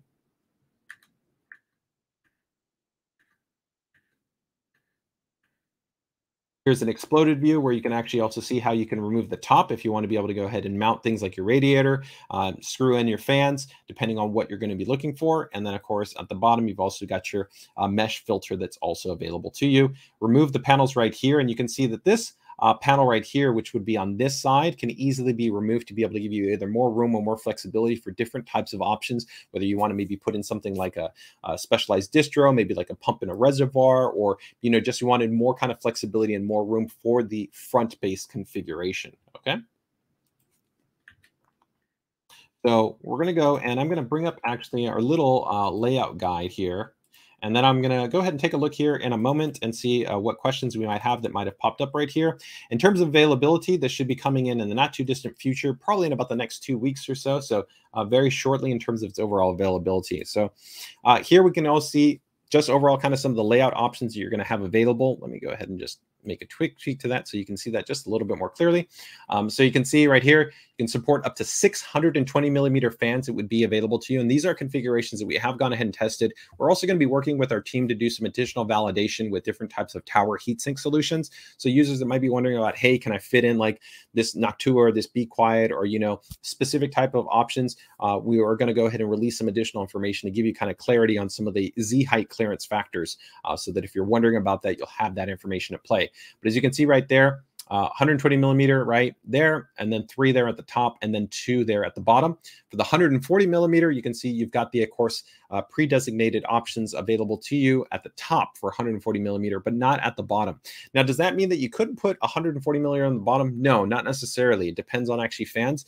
You can actually get some 140 millimeters, but actually have spacing um, in terms of actually the way that the screw um, mounts for the actual 120 millimeter diameter. Um, you could also actually take an adapter and utilize an adapter in place. The main thing you have to account for, of course, is going to be the actual Z height clearance and how that will relate to your GPU and some other factors along those lines. But potentially could be possible just depends. In terms of what we've technically standardized in terms of validation though as you can see it's 140s designed for the top then 120s are pretty much designed throughout.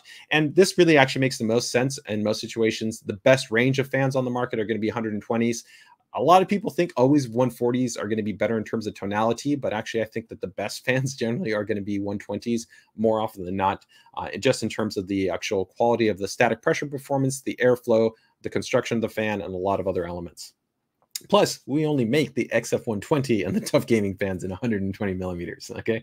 Um, then there in the back, of course, 120 millimeter support. At the top, you can support 280 and 360. So a lot of flexibility in terms of what you can go about for your mounting configurations. Okay. And um, here you can see in terms of storage option configuration, there's going to be uh, quite a bit of flexibility that you have there. So you can see here at the bottom, you can also go through different types of mounting configurations for different drives. Now, keep in mind, don't have to just use drives here. You could mount this a little bit differently. If you want to be able to have, you know, 2.5, you could get adapters that can actually use that same type of actually form factor for different types of devices. So again, you've got flexibility to use that mounting point for something that's not necessarily that device, right? So that just kind of comes down to you. But again, you can see right here in terms of traditional drives, one, two, or three are all available to you, and those can be mounted in there, right? And then 2.5, similarly, you can see we already have pre-tapped that for 2.5 or for 3.5. So both those taps exist there in place to allow you to go ahead and mount those drive configurations. But at the same time, take for instance, like this could be M.2, right? You can actually get like three and a quarter drive bays, which have M.2 enclosures in them. And then you could run that with a PCI Express cable to the motherboard if you wanted to have M.2 based expansion, right? There's a lot of interesting ways you could go about stuff if you think about that that's just a space that you can use for something else. You don't necessarily have to think about it purely from the perspective that we're defining it, but it can be difficult to kind of give you always like it could be in this and this and this and this type of configuration. So it's just something to be mindful of. Okay. All right. Um, let me just see if I missed anything here. Okay, so here lastly, I want to touch on this, which is going to be for the front panel based configuration, right? So you can see here in terms of the front panel configuration, cooling, storage, PSU, you can see right here, uh, we've got different kind of configurations available where you got the PSU bra uh, mounting bracket, uh, the optimal kind of PSU length, which you can see varies, right, depending on what you're looking for the configuration. Um, then how you can leverage 3.5, 2.5s, and then how that actually plays out with things like the top AIO and your uh, 120 millimeter fan base configurations. Okay. So overall, very flexible chassis. And I think for its price point, a really great option. So if you're looking for something compact, looks different, thermally it's going to be well balanced and you know really be able to handle high-end componentry well whether you want to go with an air focus build you want to go with an aio focus build or you're going to want to go with custom water cooling you can definitely get it done All right. So let's go ahead and see uh, if we got any questions. Wow, there's a lot of comments that have popped up in there for the AP201. So let me just see here right there. Um, all right. So let me see. I'm trying to let me go back here and just get ready to try to see right here. Okay. um, I saw that you did on the announcement with SNEF's uh, build log. Yes. So yeah. So SNEF actually has been sent over an actual AP201 to do a build right here. Um, I don't. Let me see if I. I don't know if I have those images right here to be able to pull them up. So let me actually see if I if I can pull them up. One second. I'll see if I can pull those up right now. And let me just see right here. DevTrend says, I need a mini ITX case. Well, this could definitely fit a mini ITX. Of course, there's going to be much more compact if you want to go with true mini ITX. I think it just depends on, you know, what's the level of flexibility and the expansion support that you want, right? So you can kind of go with a few different options in terms of how you want to be able to approach a mini ITX based build. Nelson Lopez says, beautiful, just beautiful. That's fantastic. Very, very cool. Um, TM Custom. So yeah, so actually, as I noted, it's the other way around. So that was a misprint on my side in terms of the pricing, right? The black is the cheaper one and the white is just a little bit more expensive, right?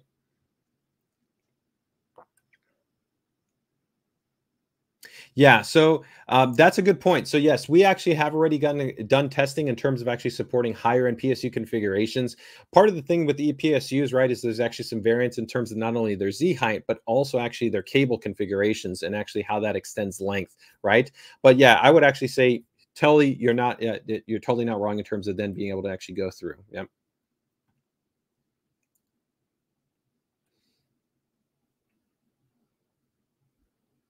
Does the main board have an NTC connection for temperature sensing custom water cooling? I don't know which motherboard you're talking about in terms of that. Um, many of our motherboards do have what's called an optional temp sensor interface, which a lot, which is used by a lot of water cooling enthusiasts. Um, so you would generally be able to check that in within the tech specs for which model you're looking at. If you see optional temp sensor, then you can put a thermistor on there so that you could go ahead and use that as an input source.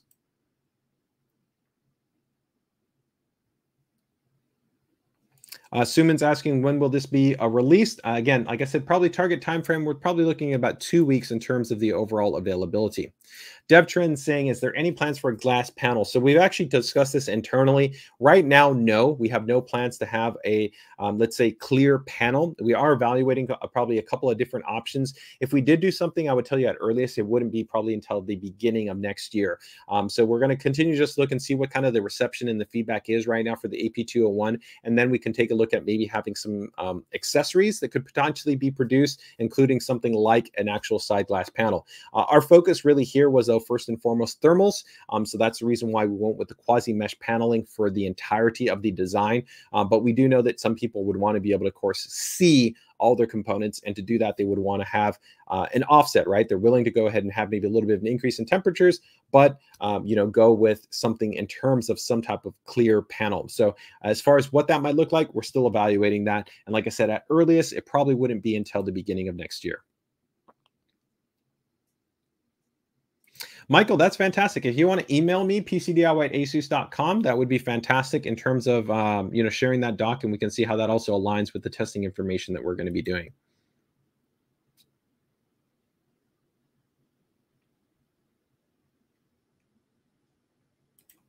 Um, terms of availability, yes, uh, two weeks. It could be maybe a little bit earlier than that. Um, um, maybe in the ASUS store might be maybe even a week or so. Um, we're gonna. I'm waiting to get my sample in so that I actually can do a dedicated live stream. We'll do it just on the AP201, and I'll actually do some live test fitting and different kind of layout configurations and things like that. So.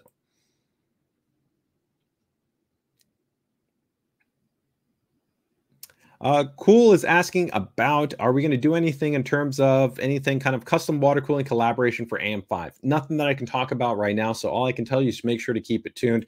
But I would tell you with very high confidence that rest assured, um, key water block partners are working, of course, to be able to support boards like the Hero and the Extreme. The Hero, I think, probably almost every generation has had monoblock support from partners like, say, for instance, like EK and Bitspower, who produce a monoblock so that if you want to be able to have coverage for the CPU and for the VRM, they have produced that. As far as whether or not we'll have something direct from the factory. Um, I can't comment on what we may or may not have. So just make sure to keep it tuned in the future for our full product announcement in terms of what we'll have for AM5. Okay.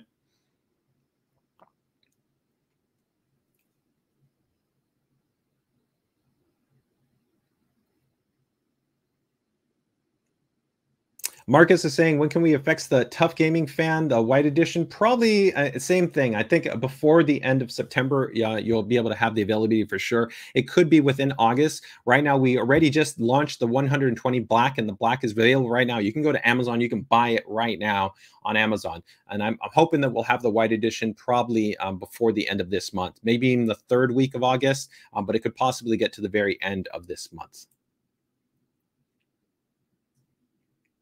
Um, asking about the PA147CDV, probably a little bit more of an update towards the end of Q3 in terms of time frame. Okay. Um, let me see. I'll go with one more question right here. Is there a reason why a third fan wasn't supported on the bottom? I think it just came down to because you know, uh, you know, with all chassis, right? It's always a balancing act in terms of tool uh, of tooling consideration um, and time and production and things like that. And already, you have to really remember it's been extremely challenging. Um, we actually had quite a number of specialized chassis that we were designing and developing, and the pandemic hit, and the pandemic really affected a lot of production and processing capabilities. And um, you know that affected a lot of the development timeline for a lot of the chassis that we've actually been designing and developing and so at one point eventually you kind of have to just stop and say you know is the configuration kind of meet, I think, the criteria that you're really trying to hit for the majority of the market, sure, you may find that there could be things that you could just have a little bit more and have this much more flexibility. Or maybe if you did this and it added maybe one or two more millimeters of height, or you could do this and it becomes a really big kind of back and forth. And I think right now we felt that for the price point, for its production, for it being a brand new series, we think that it hits enough right points to be able to offer a really solid foundation. And, you know, in the future, of course, if it's something to decide to revise, that's always a possibility. But I think right now, now having the flexibility of having to be able to go with three versus two. The reality is that 360 to 240, even for custom water cooled configurations, doesn't really make that much of a thermal difference. So the benefit of really facilitating to be able to go to three, I don't think has really that much merit. It just comes sometimes to a checkbox that people say, I need to have this and I need to have this. But you know, at the same time, if we you know we can do it and we can try to balance it out that's always something like again that we can revisit but it's just you know it's it's always going to be a balancing act right? Okay. Um jj how hard is the case to have a modular front panel io to have newer standards as they come out down the line? It's not that difficult it just depends on uh, the biggest factor that actually a lot of people forget when you talk about chassis development is is that there's always the clear kind of difference in terms of the expectation from a user's perspective and then also a production perspective. So I'll give you a very good example. People that can sometimes cu custom make their own chassis, they don't care about EMI compliance because they don't have testing equipment to be able to check EMI interference and how the chassis is influencing things like that. And anytime you make something modular as opposed to being fixed, it can actually affect characteristics like that, right? Um, there can also be cost complexity because you're actually having to produce more parts. So even though it's, it, it could be subtly simple to say, well, just having this so that I could remove this and add this, it could maybe actually add, you know, X number of costs to it. And that depends on how the chassis has been designed. But more pieces and more tooling is always going to be more expensive than less pieces and less tooling. So it becomes just kind of a balancing act. Um, this is also similar to some of the challenges with another product there. This we're going to go in a little bit pivot before we actually get into wrapping up with our monitors here. Um, but let me go ahead and just show you something here. And let me see if I have it. So speaking of modular, um, you know, we've actually been thinking about modular for a long time in different products, um, not only in kind of chassis, but even in, in, board design. So a cool product right here, even kind of staying with the theme of something Micro ATX, is um, this is actually something that we I was very, working very closely with our team and one of our product management team to kind of help to look at this. And this was the ROG Avalon concept. And this was actually to kind of redesign what the perspective would be on a small form factor based build. And so here, you know, you can see we actually had some really interesting approaches. So here you could actually mount your radiator. You could have actually your fans, right? They would be configured on one side. We actually, what we're using, what's called edge-based connectors for the PSU, which actually have much better efficiency. They're easier to install. You don't have to worry about kind of as many kind of cables. They can just directly kind of slot in. Um, and here would be the front of the chassis and you could have actually like a lot of modularity and so we actually had concepted actually of a model having this be on a breakout pcie panel so you could actually remove this. At this time which this was years ago we were already thinking of the future like hey you could have usb-c you could have actually four access which right now chassis they don't it's crazy to me that we went away from having hot swap to not having hot swap on chassis, right? Um, but here you could imagine having like hot swap for four M.2 based SSDs, or you know, at this time it was SATA based SSDs, right? Um, and even there was interesting things that we did here where this was mini ITX, um, right? But it had direct access at the top to be able to go ahead and have access to our top M.2, to the CPU, to the cooler, uh, to the memory configuration. These panels quickly just popped off on the sides and you could immediately access the sides to be able to swap things out. You could see you could just drop in my graphics card, bam, I would be good to go. I would just run a simple cable to it. I'd be set. Um, and we had to have an entirely custom motherboard actually for this design that we had to develop here uh, for this. And so this was really kind of interesting and cool because we had to d- play around with the different kind of perspective in terms of how do you actually lay everything out on kind of isolated modular boards. Um, but the cool flexibility of this type of design is also allowed us to do a lot of really cool things. So other cool things would have been um, like here, where you could actually swap out um, and have less cables because you were using all these edge connectors. Like I said, you, you, pretty much would just have the PSU, which would dock in directly into the board, power all of that. You wouldn't have all these auxiliary cables that you'd have to worry about. And the only real kind of cable that you had to worry about was going to be for the graphics card, which would be an item that you would kind of want to swap out, right? So it made it really kind of convenient, which is pretty cool.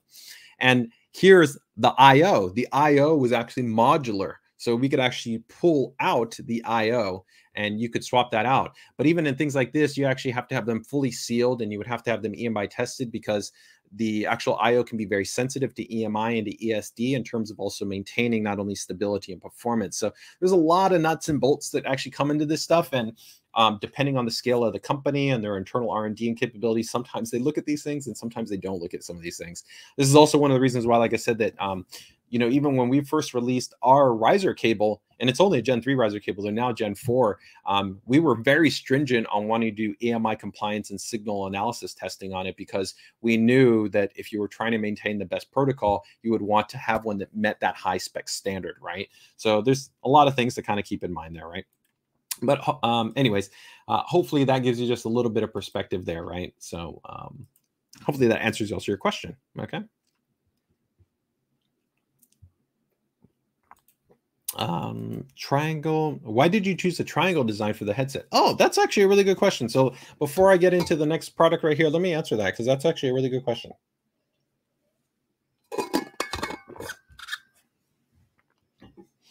So um Oh, hey, Michael, thanks for that that comment. There will be no better SFF micro ATX case. I agree. I think you know our goal was to try to make something that was cost aggressive. We wanted to really hit um, about hundred dollars, if not lower than hundred dollars, and really have a focus on ease of building. Um, there's a lot of really great chassis, and we work with a lot of great partners, you know, um, in terms of chassis, right? So everything from Lian Li to Cooler Master, Dan Case, M Case. There's been so many great companies that focus on doing really compact, really flexible type of designs, but they can still be actually quite challenging in terms of kind of layout and configuration. And really, the goal with why we targeted Micro ATX is it wasn't going to be hard really for people, whether they were first time builders or somebody that built 10 systems, could comfortably and easily work within the system, not have thermal constraints, be able to kind of pick whatever kind of really hardware they wanted, whatever type of cooling solution, and make it work at a far easier degree than a very compact, like 20 liter type chassis, which, yes, you could do it. Um, and yes, you can definitely make them work, but they can definitely be quite a bit more challenging to kind of get everything laid out there, right?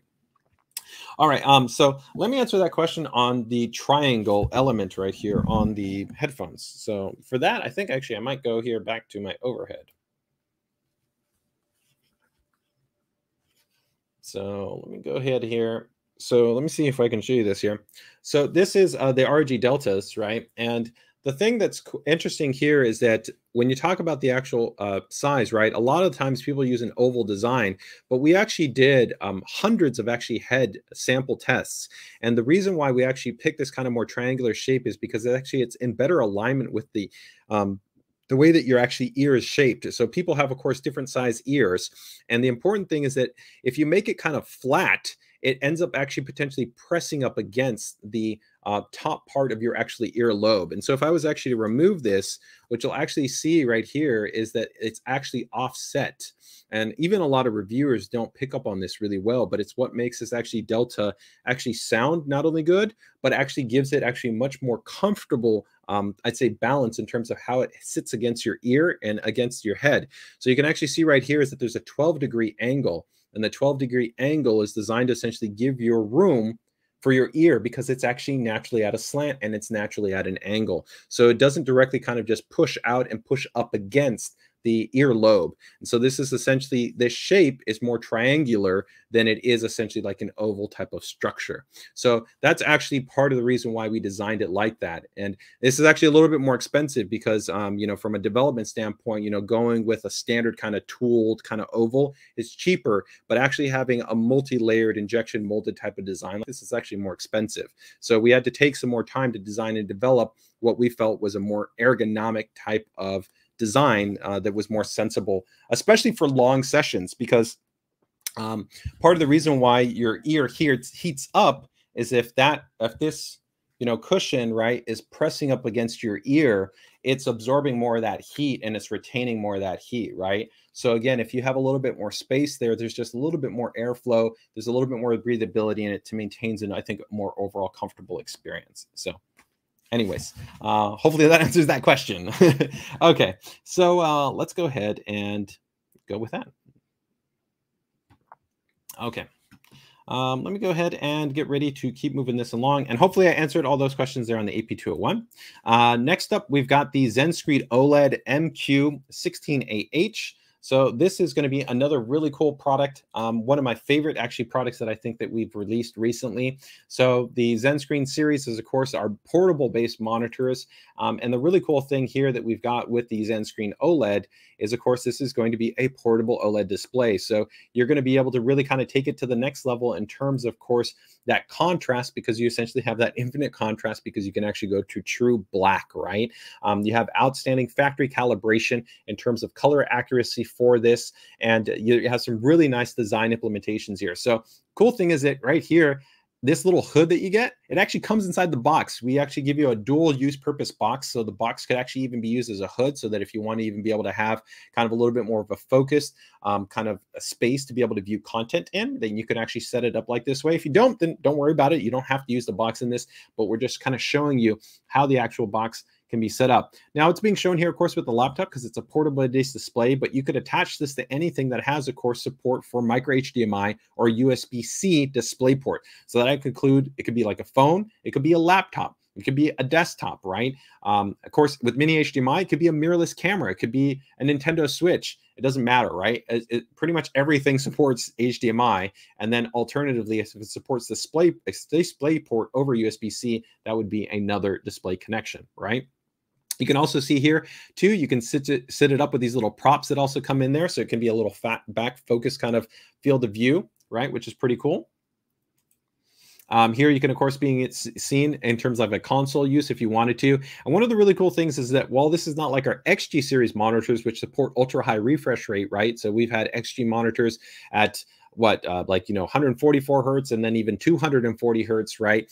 Um, oled has of course an extremely low response time of true one millisecond. Um, so it's extremely fast very very good motion clarity performance that you have available to you. So um, it's actually really good for a portable gaming display if you want to connect to something like a switch or you know even a phone or even a secondary laptop if you want to use that. Maybe your laptop is you know a display from a few years ago. You could actually you know use this uh, and even though it's only quote unquote 60 hertz with that one millisecond you could still really have a really great gaming experience. Um, it also comes included with this actually tripod mount so this is actually a threaded mount. So you can go ahead and use a different type of bracket adapter for uh, any number of different types of options that are out there to be able to use to facilitate actually mounting it like this if you want to be able to have it set up. So you could use that to be able to position your laptop directly underneath here. You can go and of course also either orientation if you wanted to use this vertically or horizontally. So if you want to use this maybe like a side accent monitor to your primary monitor, to maybe run Discord, email, chat, look at photos and videos, and either horizontal or landscape orientation, you could entirely do that. You've got a level of cool flexibility that's available to you right there. And the other cool thing is you didn't notice um, the way that we actually set up the actual display configuration, we've actually further improved upon this compared to prior um, models that we had. So we've actually enabled the display input on both sides, on this side or on this side. So depending on however you're set up, you can still run the cable from either side to be able to input. So that is a really cool level of flexibility that you have available to you. Okay. Um, let me go ahead and just show you a couple of other little things right here for this monitor. And again, you can see right there the price. This will be coming in at 399. So definitely this will be a bit more of an expensive base display, but you are talking again about OLED in terms of this being an OLED based panel compared to, let's say, any of the other number PA or, or MB series monitors that we have. And we have MB series monitors that I think literally go down to about $100, almost $130. So this is definitely at a higher end of the spectrum, right? Um, but, you know, you are talking about a extremely lightweight and a very versatile and very high quality portable based display, right? Now, keep in mind that this is not like some of our ZenScreens that have an integrated battery, which would allow it to be truly kind of portable, which means that you wouldn't have to power it. So this one, you do have to provide power to it. So do keep that in mind, right? And it can be powered directly over the Type-C cable. So it can receive the data signal, uh, display signal, and the power at the same time, okay? And it does come included with this stand and cover, and there you can see the different orientations. The other cool thing too is that there's a built-in sensor here. A sensor will actually automatically dim the screen because with uh, an uh, organic light emissive based display, you do actually have to account for lifespan and some other factors there. So to help to kind of maximize the lifespan of this uh, panel, it automatically will essentially dim when it doesn't have det detection of presence in front of it. And then when you come back, it will automatically kind of uh, turn back on, if that makes sense, right? And there, as I noted right there, I was talking about where you have, you, of course, the USB-C and display alt support on this side as well on this side. And then you've got the mini HDMI on this side, and then you've got the USB-C for power on this side. So keep in mind again for that USB-C, this one and this one, they both can provide the data signal. So essentially the display and the power simultaneously. But if you're going to, let's say like uh, an HDMI enabled device, like a mirrorless camera or something like that, then that would be using the mini HDMI and then you would provide the power and you get all the accessories inside the box. So mini HDMI, USB-C, the power adapter, the smart case, and then the actual box itself, which is actually makes that cool little monitor hood. So all of that comes in there. Okay, so that takes care of the MB. Uh, let me just see right there.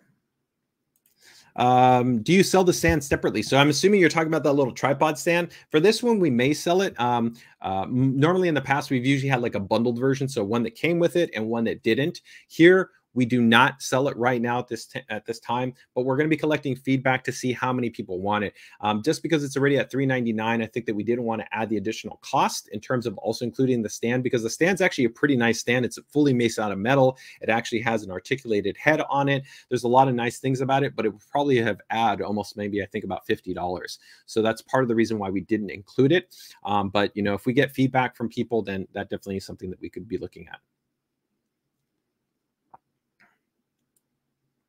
Uh, Michael's asking is uh, Asus going to jump into the QD OLED? We're evaluating it. I mean, you know, we are the number one gaming uh, monitor manufacturer, and then you know, of course we're a leading manufacturer in across all of our other displays. Whether we talk about our ProArt series displays or we talk about, of course, our standard Asus series displays, and you know, we don't limit ourselves to just one panel technology everything from of course um, you know partners like au optics right that we've utilized you know lg that we've worked with right? It doesn't matter whether it's you know va ips um, or oled we're always looking at what's the technology that helps to best serve the target that we're looking at, right? And so QD OLED offers some really impressive features, but there's also still reasons why a traditional IPS or IPS-like display or even a WOLED can actually still provide benefits compared to an OLED, right? So there's a lot of different factors to evaluate, and we are evaluating QD OLED. As far as anything specifically, nothing to talk about, but you know we have a very very diverse stack right now when it comes to uh, the different monitors that we offer. Hey, Jurgen, happy to have you here, man. Thanks so much for joining us on the stream here. Um, Pushing Polygon says, looks like a great monitor for a mobile camera display to make sure things are in focus. Yeah, this would be great. Of course, we have already very color accurate IPS mobile based displays, uh, which could work for this, including our PA series, which all even have touch. I really like the touch centric ones too, because then, of course, you can do stuff like pinch and zoom and things along those lines. Sam H is saying is that when will the Rampage Extreme Mobile return? Well, Rampage is generally reserved for HEDT platforms, so high enthusiast desktop platforms. Since there haven't been any new high-end enthusiast desktop platforms, there haven't been any Rampage series. There's only been Maximus series. So, and until we see probably another enthusiast kind of uh, overclock centric um, platform, you probably wouldn't see another Rampage series motherboard. Eric is asking, uh, what about upcoming OLED ProArt monitors? So we've already actually launched recently an OLED ProArt monitor, and we do have another, I believe, two coming this year. So make sure to go ahead and keep it tuned. We've got some more OLED coming. Okay. All right. Very, very cool. Uh, let me see right here. Um, is there a way to mount that on a vest stand? I like the white one, 144 megs for the white build. Oh, that'd be pretty cool. That'd be pretty interesting. Yeah, I, I think uh, you know people looking always for kind of creative ways how to use these different type of displays, right? All right, so uh, let's go ahead and just finish up the last set of products that we've got right here, and we're going to get ready to go into our PC DIY Builder Spotlight just here in a little bit.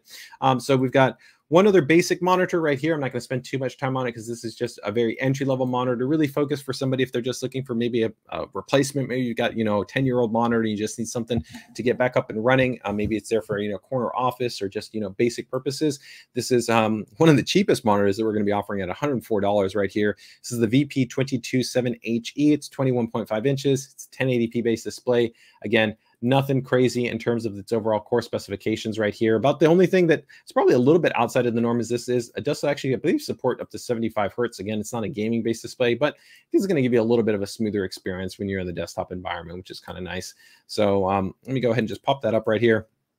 Of course, you'll see, so no 21.45 inch, 75 hertz, adaptive sync. Of course, you have VESA mount support, um, and then you know, basic connectivity is going to be available on there. It does have thinner bezels. So, of course, if you've got one of those older monitors and you have, you know, really thick bezels and maybe also a little bit of a smaller environment, a very small office, then this could actually work really nicely for you to where you can just go ahead and put these you know, two side by side and have some additional kind of productivity. Although you could also say maybe you would want to go with maybe like our 29 ultra wides, which would just give you one big one, but then you also have to deal with non-standard resolutions, which sometimes can be frustrating for some people. Uh, but again, very low price point, $105 essentially here for this monitor, right? Um, then next up here, we've got one other update, which will be for the HE, I believe. Yeah, this is going to be for the VA, which would be for a 23.8 inch, so essentially about a 24 inch monitor, 75 hertz as well. Uh, supports adaptive sync, a force VESA mounting support, also thin bezel, and then a more traditional base that would be on this monitor, right, with a little bit of a higher height too as well. This would also, like I said, be a very good option if you're looking for kind of just general productivity. Again, this is not like I would say. Um, anything like our ProArt series or our gaming series based displays. But if you're just looking for a basic monitor, this can definitely give you covered. Another thing to also keep in mind is that people forget not only for these monitors, but for our also ProArt and for our gaming based displays, a lot of manufacturers, they might only offer a standard kind of one year warranty. Uh, we offer a three year warranty, which has different levels of coverage inclusive within that three years, uh, as well as ASUS rapid replacement. And if you compare that to some other companies, it's actually quite a bit better. Uh, there's also going to be things like uh, we openly disclose our zero bright dot pixel policy policy. Um, Samsung and LG do not even openly disclose a, uh, a, zero bright dot policy. So at least you actually have specific criteria that's noted as far as what's covered in that, in that respect, right? So that gives you uh, just some more insight there. All right. Lastly, I've got something that's cool and it's a little bit different here. Uh, this might be something that you wouldn't expect from us, but I think it's pretty cool. So I want to go ahead and show it off. Um, let's go ahead and take a look right here. This is going to be a limited edition item. Um, it will be coming out in the not too distant future, and uh, it's a special collaboration that we're having with Spalding. So if you're maybe uh, you like pl playing basketball, actually I liked playing basketball for a really long time, um, and it's I think a really cool accessory. It's got a really kind of cool design to it too, where you've got this kind of black this faux snake skin kind of a patterning to it. And then, of course, you've got the ROG design aesthetics that are going to be on there. It does actually come included with the drawstring bag, and then it also comes included with the little base right there. This will be something that you can go ahead and pick up. It's going to be coming in at $129.99. So, in the not too distant future, you'll actually be able to pick one of these up. Um, let's go just do quickly a little bit on the uh, images right here for this guy. And I believe this will be exclusive to the Asus eStore. So um, it will only be available, I believe, on the Asus eStore. So uh, if you guys are following me in the PC DIY group, I'll make sure to do a post when it's actually been listed. And again, it will have a limited edition production. I don't know yet exactly the production run, but I know it's actually going to be pretty small. So it's not going to be something that will be available for a very long period of time.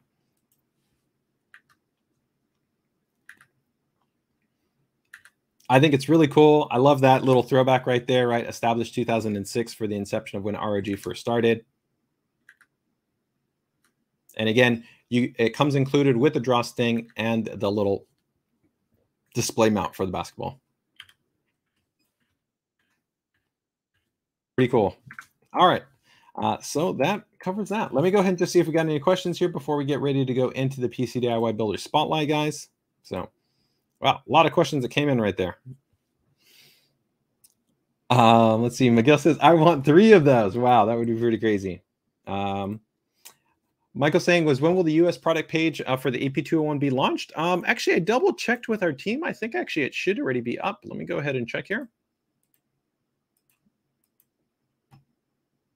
Yeah, uh, Michael, the product page is already up right here, and you can see that it's already up. This is the AP201. This is the US-based product page. So we do already have it up. Um, generally, anything that I'm announcing here on the stream is in alignment with North America because while we have people viewing us from all parts of the world, I focus only on North America. So that's going to be for Canada and the United States. So when I'm talking about a product, it means it's in alignment with whatever we're doing in terms of channel release availability. So um, in that respect, yeah, the this this is already active. It's already online right now, and I will drop that there in the chat. I thought I already dropped it in there, but I will go ahead and drop it in there.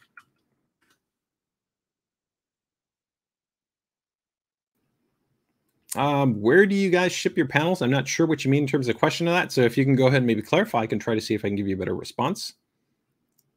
Hey, Shuos is saying, Are you trying to get us outside? Hey, you know what? Not everybody follows that mantra, right? Of, you know, being quote unquote that quintessential person that's just stuck inside their house, right? You know, I know a lot of us have been in, in and out of lockdowns, right? But, you know, uh, maybe you're lucky enough to maybe have a little bit of space out around your house that you can maybe go ahead and take a, a quick jump into, maybe enjoy, uh, you know, a couple of, uh, couple of sessions in terms of enjoying a little bit of basketball, a little bit of hoops, right?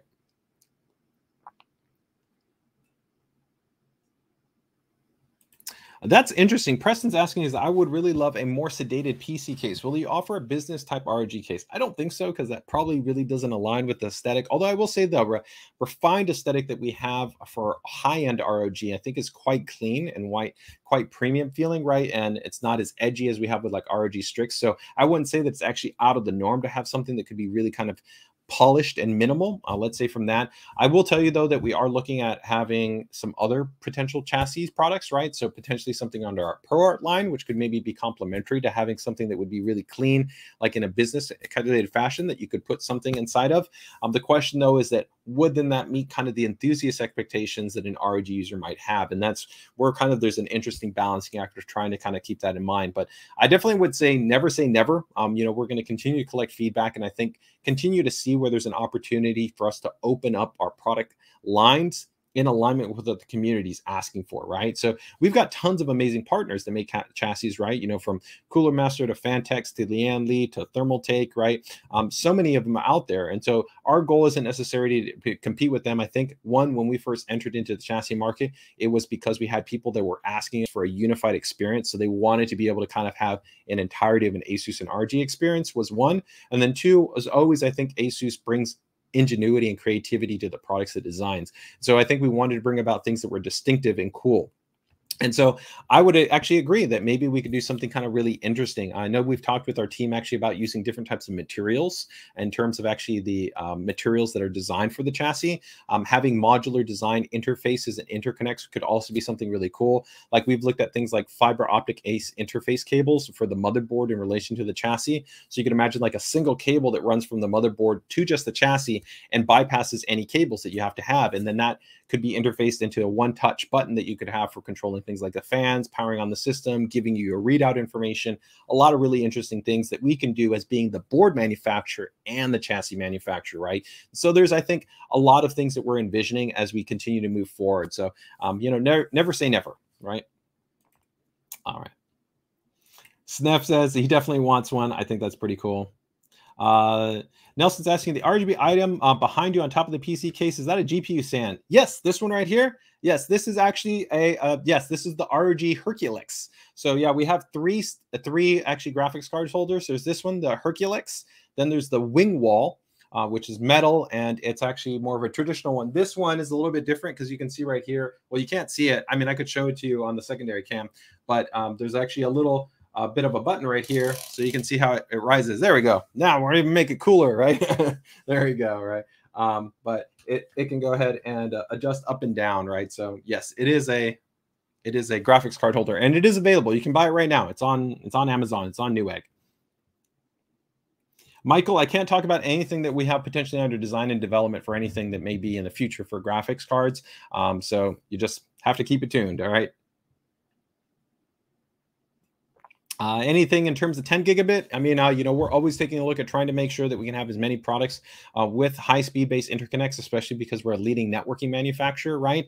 But, you know, a challenge with 10 gig is 10 gigs really expensive um, in terms of the cost. And then the reality is that the deployment installation environment is quite small, right? Only a small number of users have spent the money to adopt into one either ISP services that can benefit from 10 gig. That's getting better, especially now in North America with AT&T and companies now rolling out multi-gig services, especially in 2022.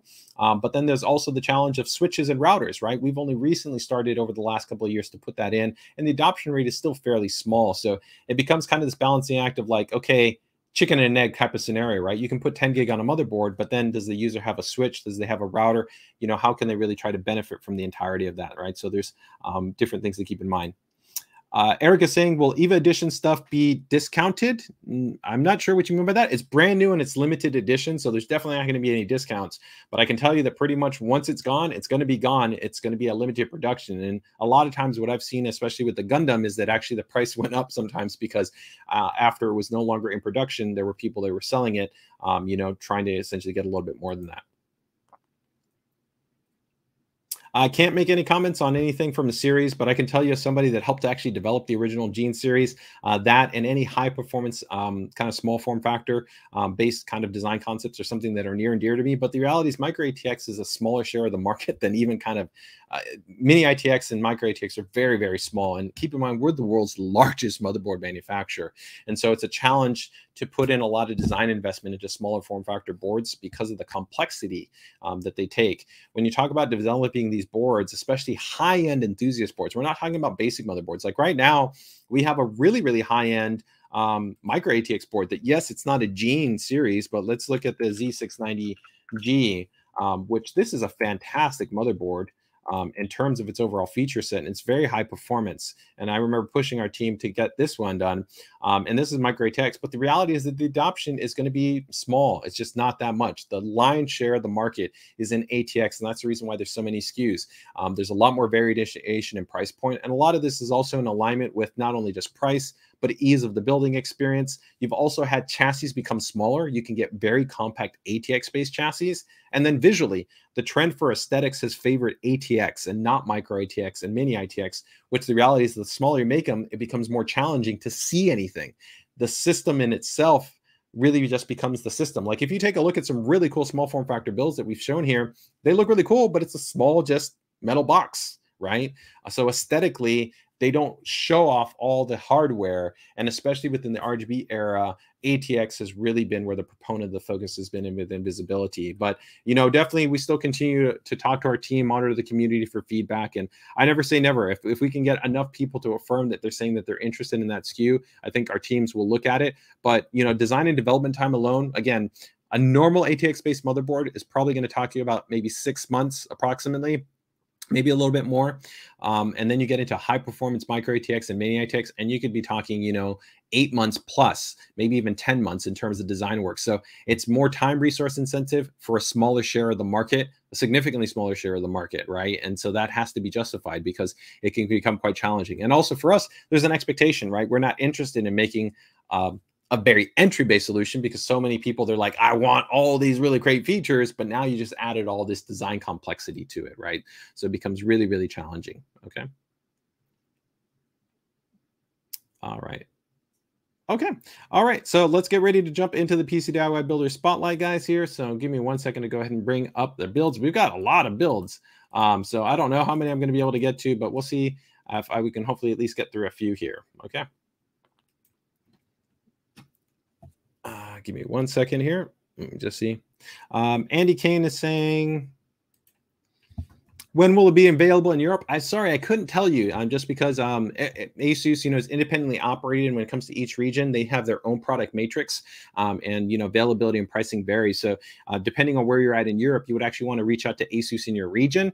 Uh, use the contact us option on their webpage, right? And they would be able to tell you know. So, an example of like you were in Germany, you know, uh, actually reach out to ASUS Germany, look at the contact us, and ask them, you know, what's the expected availability, or if they're even going to carry the product. Because in some regions, they may not bring in the product because maybe there's not enough demand, or you know, there could be different factors as to why they're not deciding to bring in the product. Okay.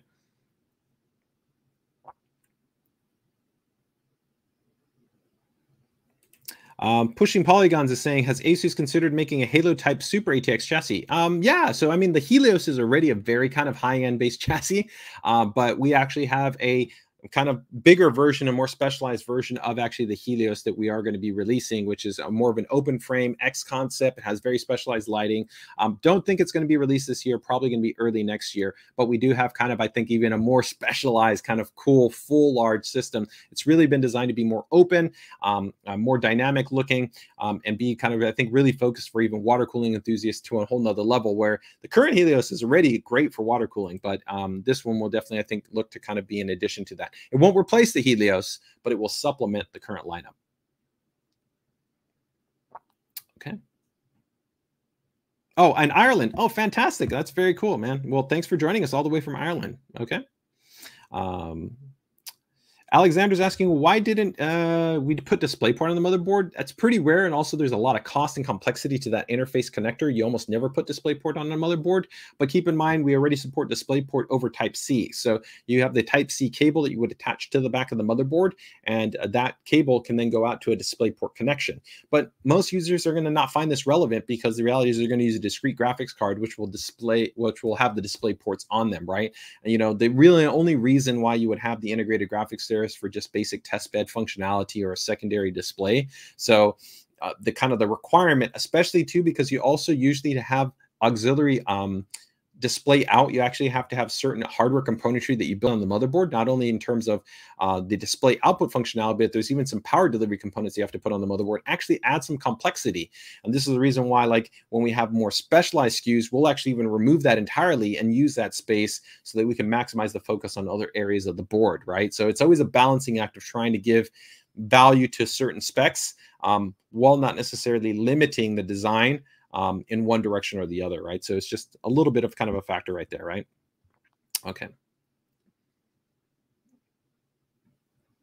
All right, uh, so let's get ready to jump into the PC DIY Builder Spotlight, guys. Uh, so for those of you that are checking this out for the first time and you're not aware, uh, with the PC DIY Builder Spotlight, this is where we'd love to be able to showcase your guys' PC builds from the community. It's a great way to be able to go ahead and show off the work that you've done if you put together an ASUS-based system. If you're interested in submitting, all you got to do is be part of our PC DIY group and go ahead and submit on that Google form that we've got there, and you can go ahead and be featured here on the ASUS PC DIY stream, as well as actually on our ASUS social media channels and our ASUS ASUS PC DIY website. So let's go ahead and take a look and see what we've got. We've got a lot of submissions. So we're going to see uh, what, I can fit in uh, for today. So let me go ahead and see what we got going on. Um, oh, we've got a lot right here. Okay. Um, let's see here. Is this here? It looks like the first one, there's going to be no name, and I'm going to need to look at the submission form to try to hopefully be able to pronounce this individual's name. So go ahead and let me just put this right here.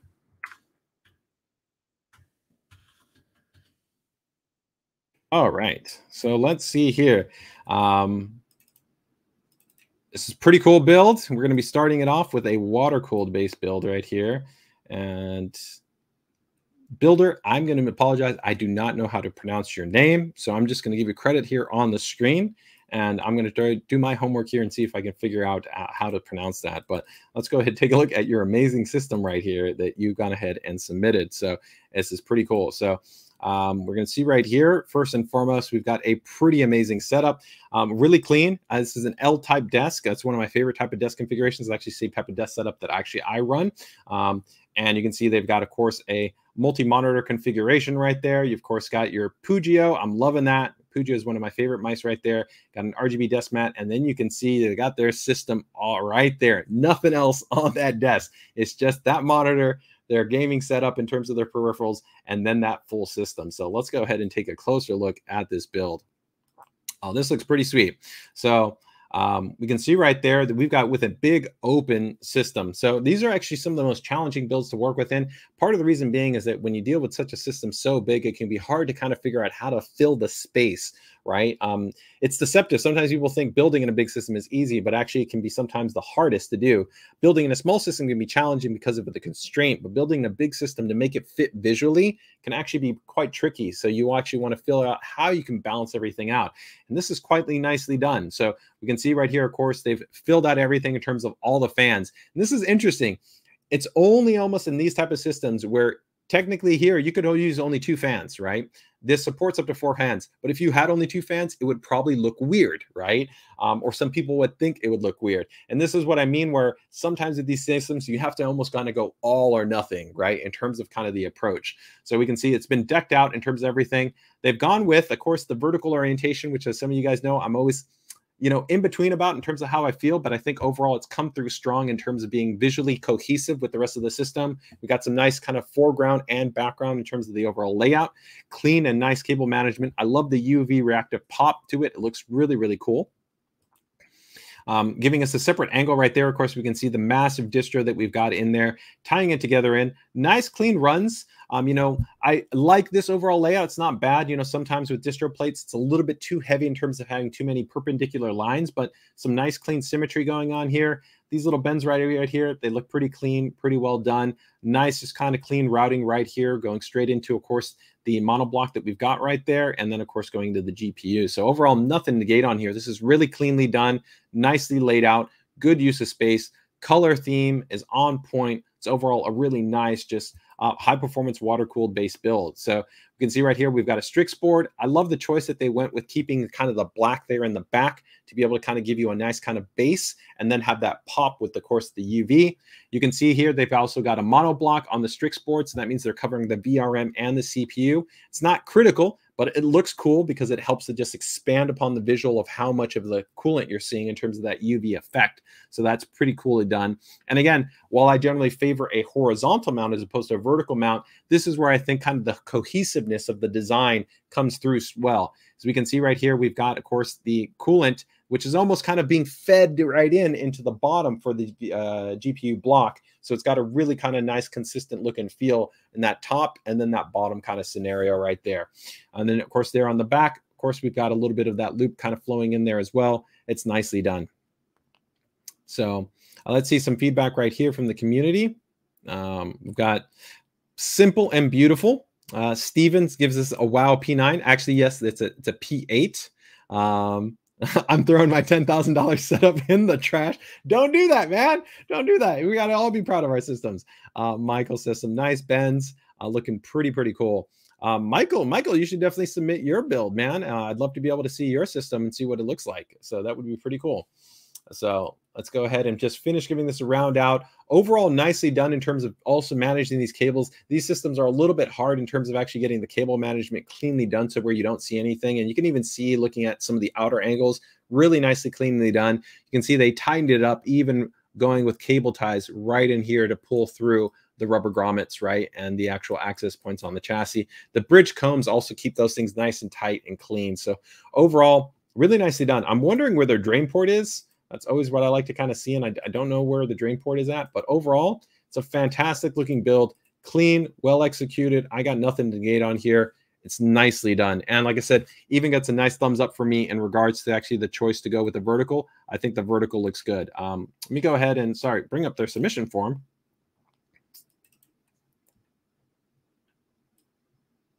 And uh, we will keep checking this along. So got their submission form there. And Sorry, one sec. Okay, so let me see here. Um, see, it's not a sponsored build. wasn't their first build. Does the, bird, the build have a theme? There was actually no theme. At least the builder says that there was no theme. To me, it's pretty cohesive and pretty uh, consistent in terms of the overall look and feel. So it does feel like there was a purposeful design aesthetic. Three words to describe the build is dope, minimalistic, and powerful. I think definitely it is a powerful looking build. Minimalistic I think, yeah, I mean, definitely very clean. You don't see an over kind of complexity and everything. So I, I could see how somebody could interpret it in terms of minimalistic and dope. If you consider dope a good thing in terms of his vernacular right there, I think it works. So I think we'll definitely go and say that looks well. Um, let's see, does the build have a name? There's no name for it. In terms of the hardware, what we got here, we've got a Ryzen 7 5800X, and that's all on an ROG Strix X570-E board. He's also got that TUF 3080 card that's in there. That's going to, of course, be blocked and water cooled. So that's a great combination in terms of performance.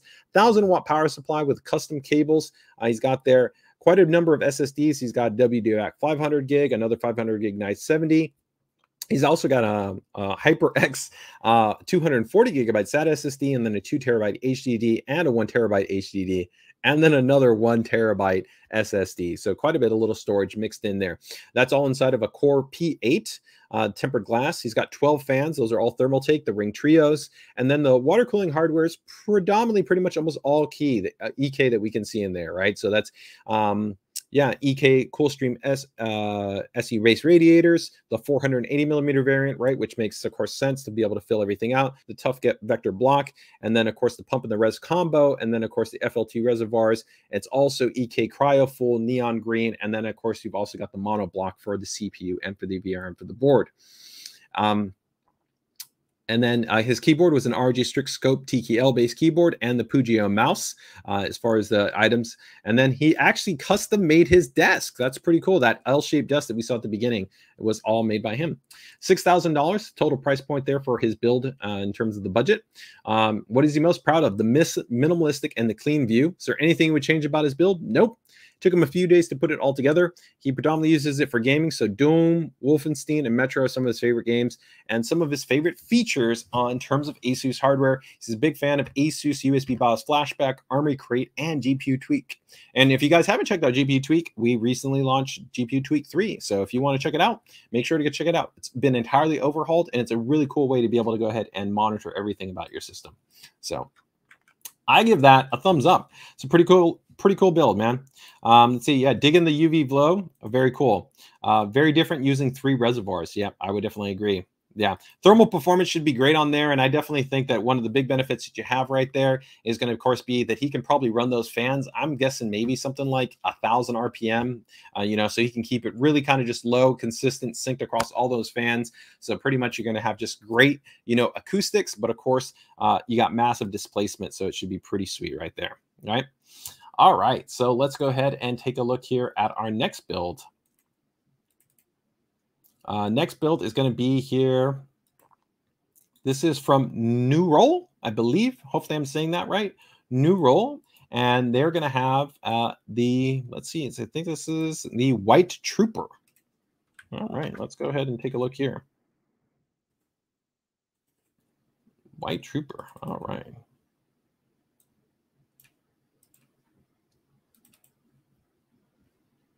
Ooh, ah, this is interesting. All right, so we're going to definitely go to the other end of the spectrum in terms of going with something that's quite a bit smaller. So um, we can see here we're going for a very kind of compact base build, and we're going again with a vertical base mount. So that's probably the first thing that you notice. Um, they actually cool. They gave me actually different images. I always ask if you can give me an RGB on and RGB off because I like to be able to see kind of the difference. I really like the way this looks with actually no lighting. I think it looks really clean. The white's nice and consistent. I'm torn again, though. I mean, this chassis, of course, you're ideally suited to, of course, use that vertical mount. But I feel like I would have loved to see that nice white bar that we have in terms of the RG Strix card in that horizontal orientation. But maybe they're really, really like, of course, this white aesthetic. And so they really want to show it off. So I get the vibe on wanting to go with the white theme right here. So we can see, of course, they've gone here uh, with the Arctic fans. Uh, and then we've also got Vidar fans in there. So that's an interesting. So we have two different fans that are mixed up in there. And then, of course, we've got the Lian Li chassis that's in there too. So uh, here we can now see we've transitioned over into the RGB vibe. And what do you guys think? Do you like it no RGB lighting or with the RGB lighting? Now here, white is really reflective, so it gives you a lot of color play and allows the kind of colors to pop. I, white goes really well with rainbow, but I feel like I maybe would have vibed a little bit more with maybe a fixed color. So maybe blue or maybe like a gradient, maybe going to like blue, pink to purple or something like that, as opposed to the pure rainbow. I will say that ID pump housing for the ID cooling looks nice in there. Uh, interesting choice to not go with any RGB memory. Um, you know, so I don't know if they maybe were looking thinking about maybe going with white DIMMs or maybe some RGB that could give you another little point of contrast and pomp. But it this definitely is all clean and well executed. I mean, you can't give any niggles right here. It's a very tight amount of space and all the cables are nicely laid out. Um, it's well executed. Now the bigger question would be of whether or not it would have made sense to try to give you a little bit of flexibility, maybe run the pump and cable right here down and then use only a 240 and mount it there, right? Versus going with the 360 up at top. Because the reality is, if you're only gaming, you don't need the 360. So that's an interesting configuration is which one would have been the right one because then I think you would have been able to play around with this cable a little bit more and maybe have it come out just a little bit cleaner, but it's still very nicely done, very clean aesthetic. Oh, and there we go. So they actually gave us a nice blue. I think this is maybe my favorite. I like this more than the rainbow. I'm really liking that nice, soft, kind of light teal kind of blue right there uh, with the white. I think that looks perfect. It's got that little icy kind of vibe to it, a little bit of kind of Hoth kind of vibe to it. White white trooper is what they call it right there. So I might have called it something like Hoth. I think this is cool. I definitely feel this vibe. I think this comes through nicely right here. So uh, Michael saying, yeah, the blue is nice. Um, then we've got the ice Icebox looks. Uh, not digging the choice of the RGB colors, something uh, to work better with the white. Yeah, yeah. Um, then we got great sense of unity right there. And overall, you can see very cleanly done. So I got no real, like I said, only thing I might have maybe changed up is, like I said, maybe going with the 240 mounted right here as opposed to going with the 360 and then going with the fans right there. I think that would have given a little bit of a vibe. And here's where you can see that you've got that beautiful light bar right now. It's kind of cool because you get to see a little bit of that just color right there at the top, which gives a little bit of a pop and a little bit difference. And actually, I like the little color play right there. But that's where I was saying that um, you know that that vertical light bar is pretty cool. Now we did to do a diffuse design here, so you get a little bit of that fill lighting right there um, that does come, still come through. Oh, they gave us the cable management shot. Kudos for being brave and giving us everything right here. Um, great job. Nothing niggle on there. You really packed it in there. It's nicely, cleanly, well managed. Um, you know, everything is isolated out. You know, you can see right there, you've got your sets of lines running right there. It's clean, it's well laid out, and you're good to go. Um, you know, I'm a little stickler for me. Usually I like to try to have something that helps me to know. So I might have like different color, like Velcro ties, excuse me, hook and loop fasteners, um, so that I know whether I'm going to, you know, my PCI power for my graphics, to my SATA, to my fan controller or something like that. But otherwise, um, very clean and well executed. So uh, this gets a thumbs up for me. It's a great looking build. And I think definitely blue for me is my favorite. So we're going to go ahead and leave it right there in terms of uh, the overall kind of look and feel let's go ahead and see. So yeah, uh, Neural is the name of the builder right here. Uh, does the build have a theme? No. I built a white PC to look clean. Uh, I think a black PC can look equally clean, so I don't think white looks any quote unquote cleaner, uh, but definitely white does bring quite a bit of a brighter and kind of a more reflective type of ambience, right? Uh, what are three words uh, that you use to describe your build? White and clean. Um, and then does your build have a name? Is the white throper? I wonder if they mean white trooper or white troper, right? Uh, either which way uh, totally cool. Um, so this interesting this is a balance build i like this this is kind of where they're looking to maybe focus their budget to get really great performance but without going crazy on the hardware so um, this is an i5 12400 which is definitely one of the best cpus you can get to price to performance outstanding part. Um, really almost won't be limited in terms of any type of scenario. And you can pair that up with everything to like a 3090, 3090 Ti, 3080 Ti. B660 Strix board, which is another great choice, the D4 variant, right? Um, then a 3080. ROG Strix card, white edition.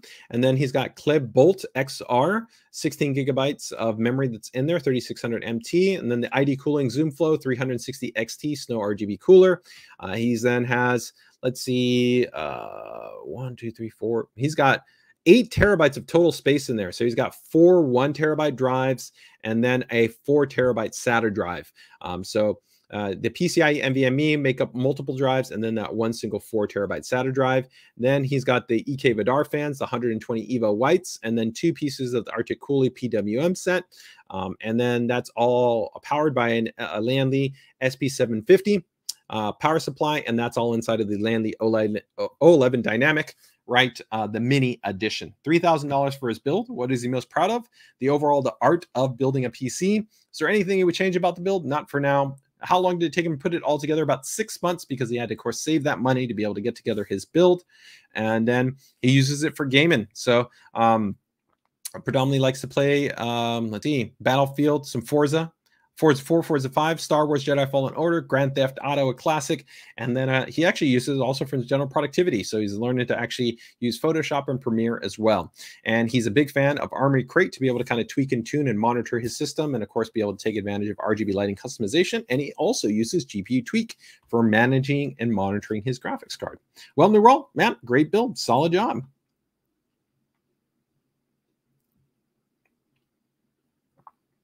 All right, very, very cool. All right, so let's go ahead and go with the next one. Let's see what we got for our next build. mm, do, do, do, do. All right. Um, oh, all right. Let's go. Let's go with this one. This is going to be pretty. Another no-name build. We're going with another water build here.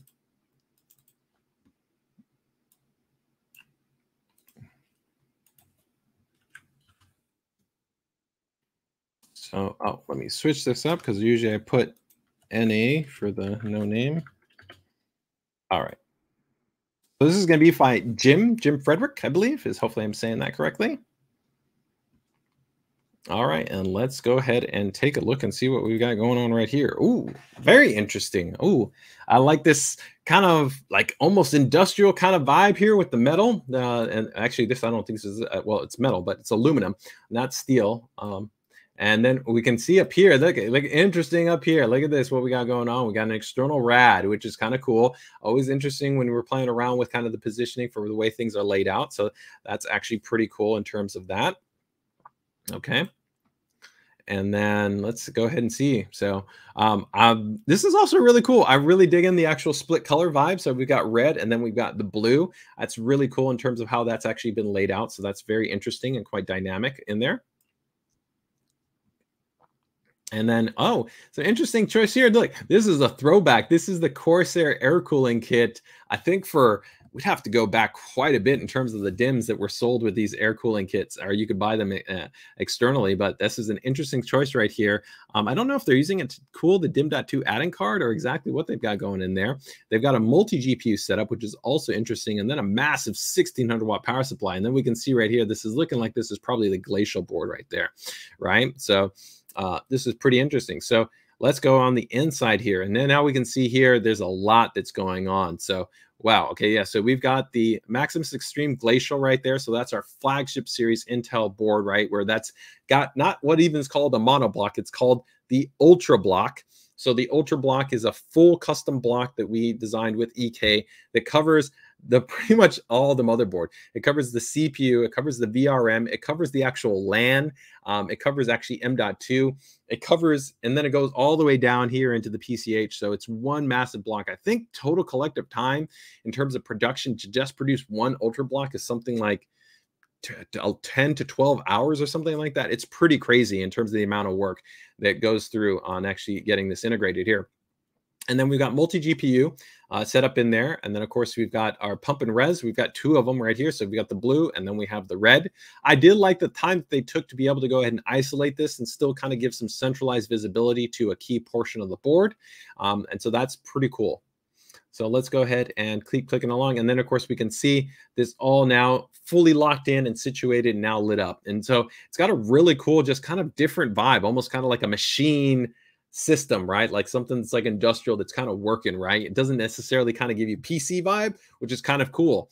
Um, the cables are really cleanly and really well done. And going actually with the custom, the same cables, right? The system comes with, these are really well managed and cleanly laid out. I think some people would probably prefer to see a custom cable right there. Maybe something that wouldn't be as sharp as the nylon based cables, right? Which are a little bit shinier. Um, but I think still think this is really cleanly done. And there is benefit to going with the original cables. The original cables are factory validated for the best efficiency. Sometimes if people use custom extensions, um, you can get less efficiency unless you're getting ones that are shorter length, which would be ideal. Um, but overall, it's really cleanly done, really nicely laid out, well managed in terms of the cables. We can see that there is some red cabling over here. So that's interesting why this cable didn't carry over onto this side, right? Um, but otherwise, It's really cool. I love over right here. Look, look, we got easy access right here. This is nice done. I like that layout choice and just some nice clean layout options right here. So very, very cool. I like this. Yeah.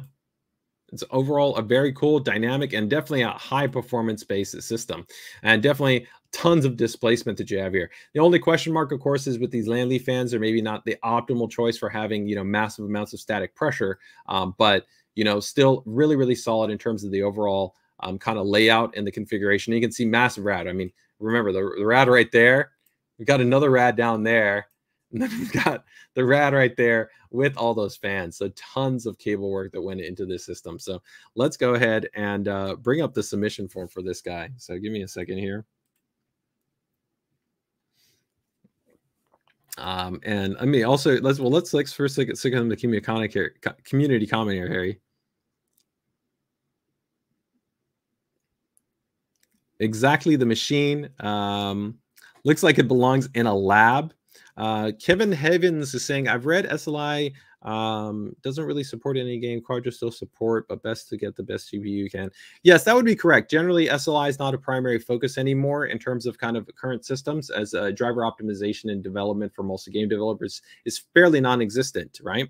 Um, H2O Computer says it's a super industrial look. Uh, I would definitely agree with that.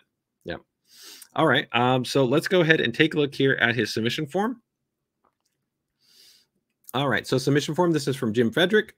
Um, and uh, does the build have a theme? No. Three words to describe the build over the top. I would definitely say over the top. Does your build have a name? There was no name. In terms of the hardware, as I noted, yeah, this is going to be um, pretty much peak hardware, right? So we've got a a Z690 Glacial board. We have one of my favorite cases and one of my favorite manufacturers of all time with Case Labs. Sadly, they're no longer uh, present, but I know that actually, I believe they purchased, were purchased in terms of actually uh, one of the water cooling companies, I think, is actually picking them up and doing some stuff right uh, with them. But this is with the SM8, which was really one of the most amazing chassis in terms of having a huge amount of flexibility to be able to customize for different water cooling configurations. It's got a 12900 KS um, bend uh, in terms of uh, the actual K912KS. And then two 3090 base graphics cards, of course, water blocked on there. 32 gigabytes of memory uh, that he has on there in that two DIMM configuration. So he's maximizing DRAM scaling 6400 MT. And then he's got uh, four two terabyte 980 drives in there, um, plus six terabyte um, drive, and then Singularity Res pump and mounts, and then uh, 480, of course, rad that's in there, a 240 rad and a 360 rad, 18 Lian Li Unifans, and then an AX 1600 watt power supply. Um, budget for this build was uh, unlimited, essentially $10,000 plus. Uh, he was absolutely most proud of being able to actually get the Maximus Extreme Glacial board to be able to make this build. Is there anything they would change about this build? He's going to be upgrading to the next generation NVIDIA graphics cards when they come out. How long did it take him to put together the system? About three months. It's uh, used uh, for gaming and for overclocking. He loves to play Biomutant, Forza, Dying Light 2, Shadow the Tomb Raider, Sekiro. Uh, what's his overall favorite Asus function or feature? He's a huge fan of the way that Asus yeah, overclocking works. It's extremely solid, it's robust, and really allows to have a great experience. He also really likes the anime matrix display on the Glacial to be able to go ahead and customize and show off some cool elements for the actual system.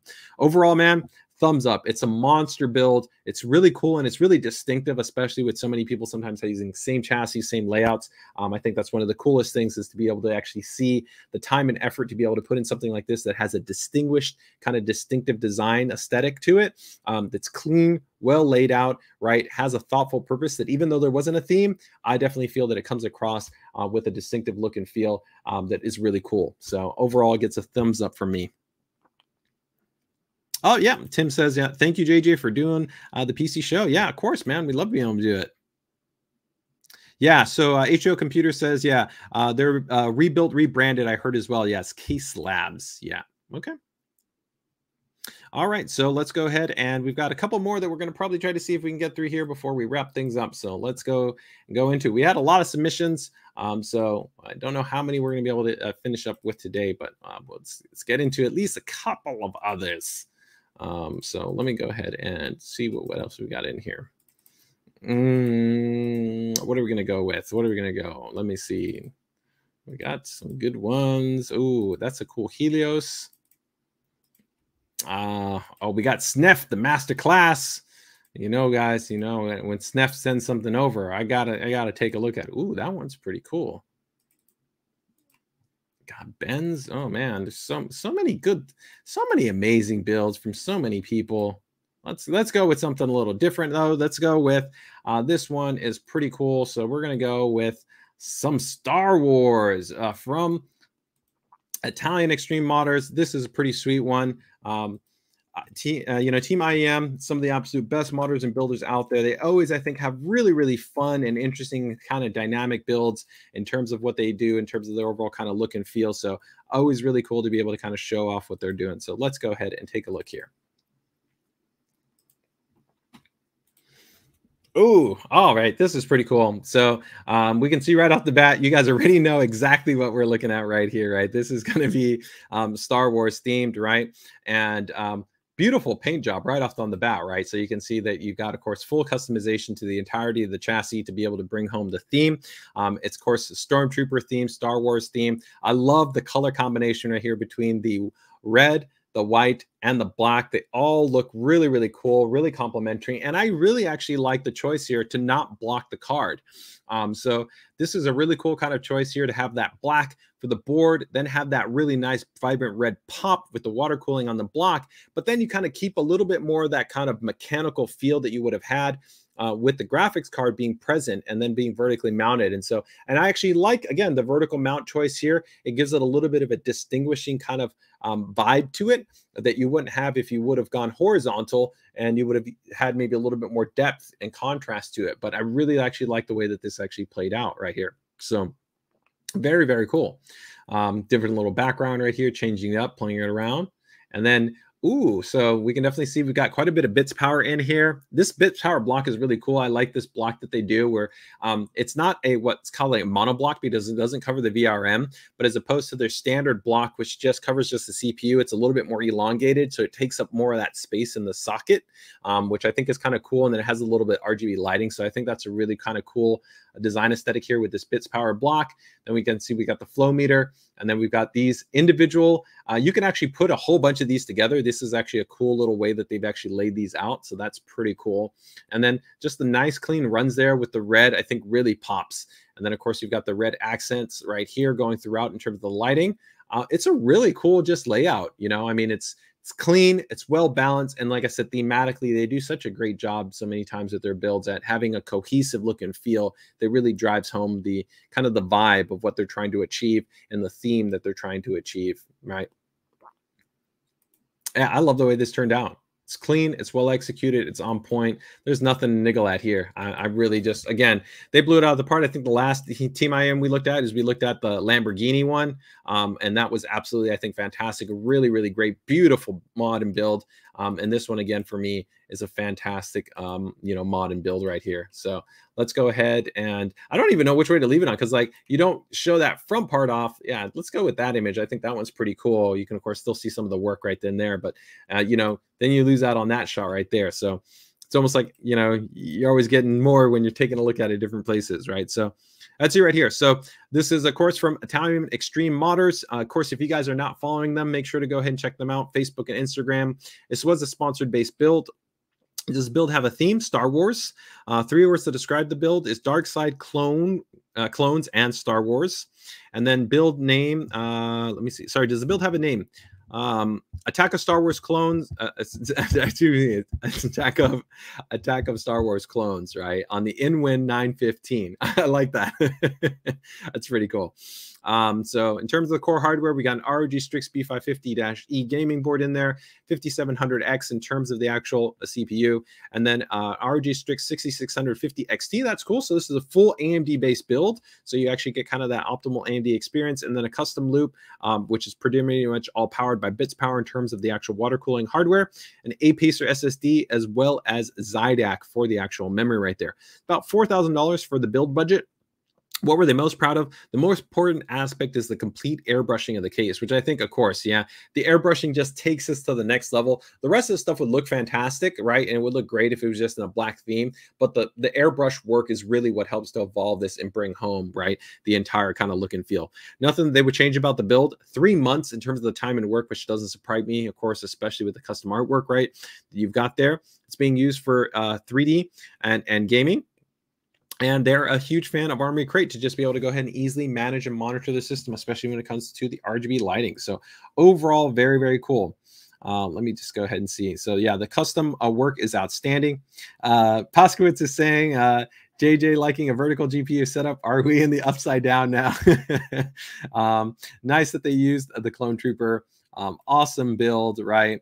Um, let's see, uh, great use going with a chassis with a unique shape to match the Star Wars theme. Yeah, I think Paskowitz nailed it right here too, right? The shape here, because you have a little bit of those kind of rounded curvatures, really kind of complements those soft kind of rounder forms that you get within kind of um, the look and feel of the clone troopers, right? So that's that's pretty cool right there too, right? So uh, very cool uh, for the Empire, right? And uh, feel the Star Wars love. Yeah, overall, very very cool. Um, I love the way this turned out. It's it's a really cool build. All right. So let's go ahead and keep moving this along. see if we can get two two more guys before we go ahead and wrap things up here. We had so many different builds. Uh, just not going to be able to I, I get to all of them, but you know that's why we have the BC, PC DIY Builder Spotlight every week, right? All right. Um, oh, this is like oh, that's such a good one. I don't know which one to go with. Uh, let's go with a little purple vibe and the helium. This one was pretty cool right here. All right, so give me one second here.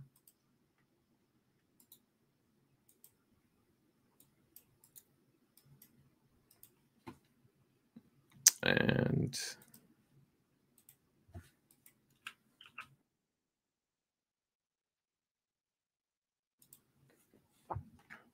all right, so this is going to be from Joel. All right, so Joel, let's go ahead and take a look at his system right here. This is uh, going to be calling out he is actually able to put together the system already in the ROG Evangelion Helios chassis. All right, so let's go ahead and take a look right here. I'm feeling it already. I absolutely love the way that the Helios looks in the RG Evangelion based edition. It looks fantastic. Um, I love this, that green, that purple, and the black. It's a fantastic color combination. I think it looks so cool. And we can definitely see. And we can see we got a theme, uh, you know, uh, with actually, again, another vertical mount. And actually, it came through, I think, pretty cool again i think it's all about theme execution and here i really like the vibe of having the actual green be that accent at that forefront right? And we also create a little bit of foreground and background based kind of difference which is a really cool way to be able to play the color theme and i think it worked out really well. And this is where actually i think ideally you're using the vertical design in terms of its best suit right so you're using it as a focal point to then be able to pull into the rest of the theme and the execution so i think that's cool done um, and i love this kind of black with the purple right? And then the green, right? This is a really, really kind of cool layout in terms of the choice. I even like, of course, uh, just the black tube, uh, black tubing that we've got right in here. And then we got a TUF Gaming board, which is a great kind of base for this, just with its all kind of black aesthetic that it has there. And we've got the Corsair memory that we can see in here. Really nice, clean routing job that done on the cables. So um, as you see right here, Michael says, yeah, Drool, uh, great EVA edition, uh, very cool build colors are dead on uh, for the theme. I definitely agree. And Erica, oh, hey, Erica, I really like the color combination. Yeah, I, I like the color combination. I really am a big fan of this. So here we can see RGB lighting off and still showing it off. Really clean, nice execution. And here we can see actually how clean everything is in terms of being black, right? So the board, that really nice black tubing that you have right there, but then those purple cables. And of course, you can see the small little other accents that are present in there. So it looks really, really nice. And there we go back out. And uh, do I not? There's no other. Did they give us any other images? Uh, just those. Uh, well, overall, I mean that's that's really cool. Love the way that this overall build came out. Really nicely clean. It's well executed. Nice runs overall in terms of this. Could this this this run maybe just kind of needs to be tweaked a little bit. Uh, it's a little bit maybe off right there, but otherwise uh, really nicely done. Um, and I I'm uh, I, I really like the color scheme right here. So let's go ahead and um, let me go back to the beginning one. Yeah, so I think that that's cool because you can kind of see the whole little look right there, right? So um, let's go ahead and bring up the the submission form. So give me one second here, guys. Uh, wait. Oh, that's weird. Where's his submission form? Okay, so I don't have Joel's submission form right here. So sorry, Joel, I can't go through the rest of your details. So I'll try to see if I can get a hold of Joel to be able to confirm on the rest of his details, um, and you know make sure we credit that and a follow up um, little spotlight right there. But based on uh, what we can see right here is I know for a fact this is TUF Gaming because I can tell from the ID design this is Z690. So he's got a Z690 based board right there. That's going to be DDR4 based um, in terms of that. And then two pin, this is probably 3070, maybe a 3080 base card right there. So overall, really nice combination in terms of the overall performance. And again, the overall design and layout. Um, it's clean, it's well executed, and definitely gets a nice thumbs up from me.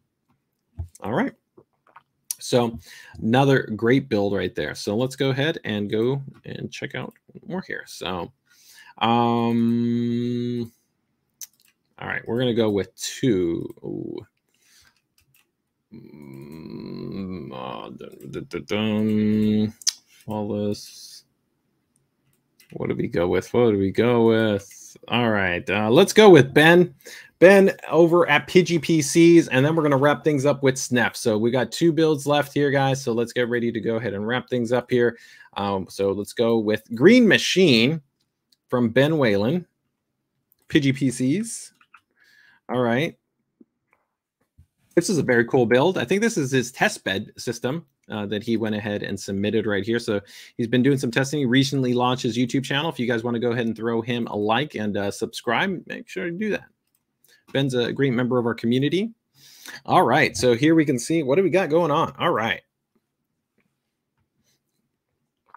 All right, so very, very cool. So here we can see we've got a core, uh, excuse me, a thermal Thermaltake uh, core chassis. We've got some of the RG Evangelion, our TUF Gaming monitor we can see right there.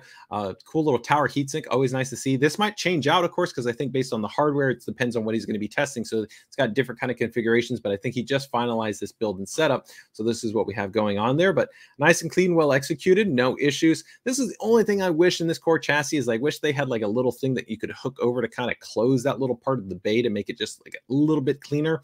Um, but you know, he's packed everything in there nicely and clean. So there's nothing that's a, a point of concern right there. Um, these are the X-Tal based edition versions of these fans. So they have a kind of like a little bit of like almost like a G scale royal type of kind of patterning, which gives them a really kind of like cool kind of um, gem and kind of refracted type of property, which is kind of interesting in terms of the overall layout. It's got everything really cleanly managed, and Ben always does a great job when it comes to the cable management. So clean and well executed. And there we go with the lighting. It of course changes the other the entire dynamic. So I really love the way that this played out. I actually remember giving him feedback that I wanted to see white, and he actually sent over an image with white, which was really cool because I think that the white with the green just pops. I love that dark kind of green that kind of British racing green, kind of army green, that real kind of classic dark green.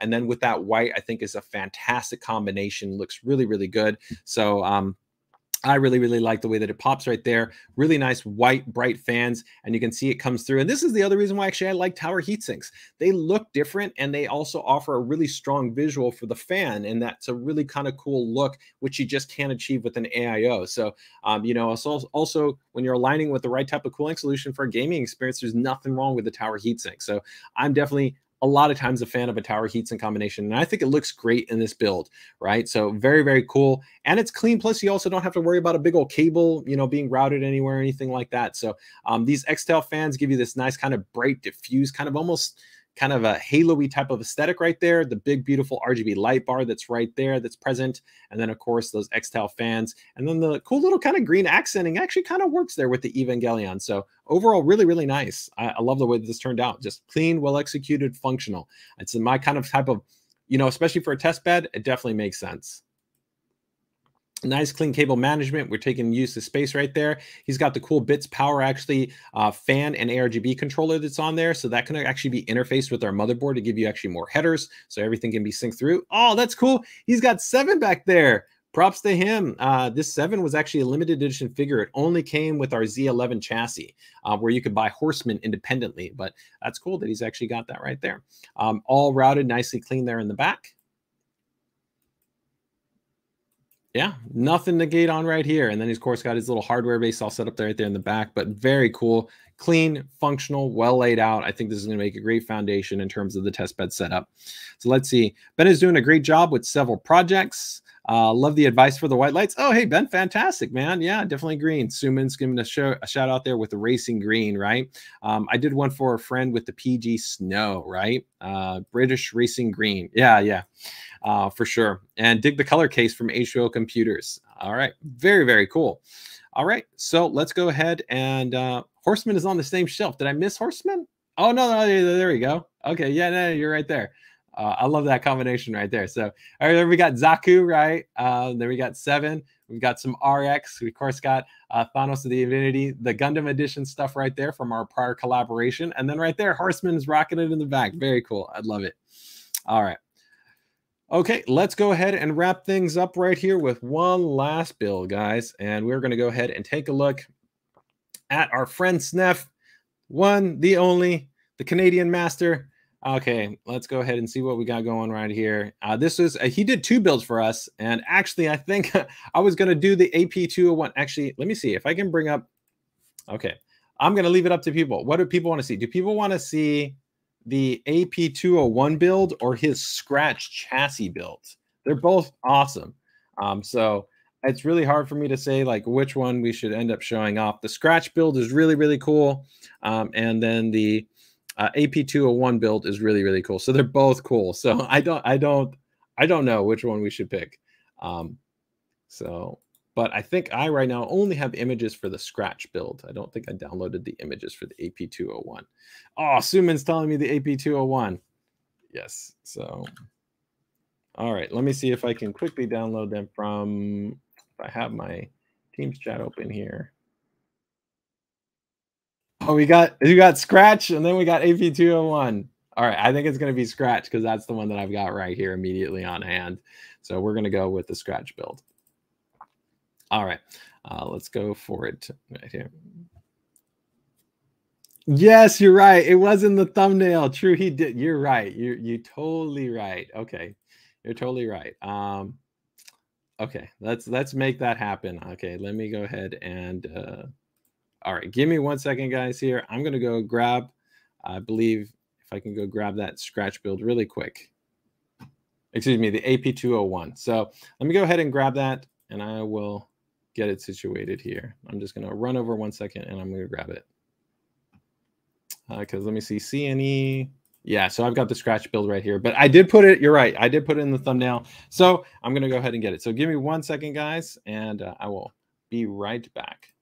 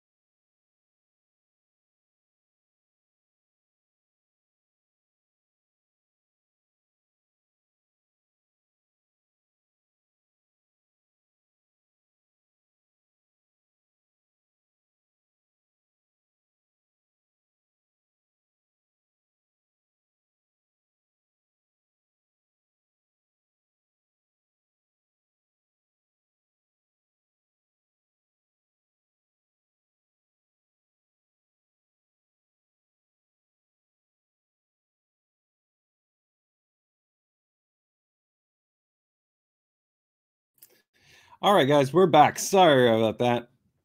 So, um, actually, was not able to go ahead and pull that back. I had to uh, go ahead and uh, just swap that out. So we're going to definitely make sure to go ahead and show that one off on next stream. But I'm going to go ahead and uh, just wrap it up here with this with the scratch build.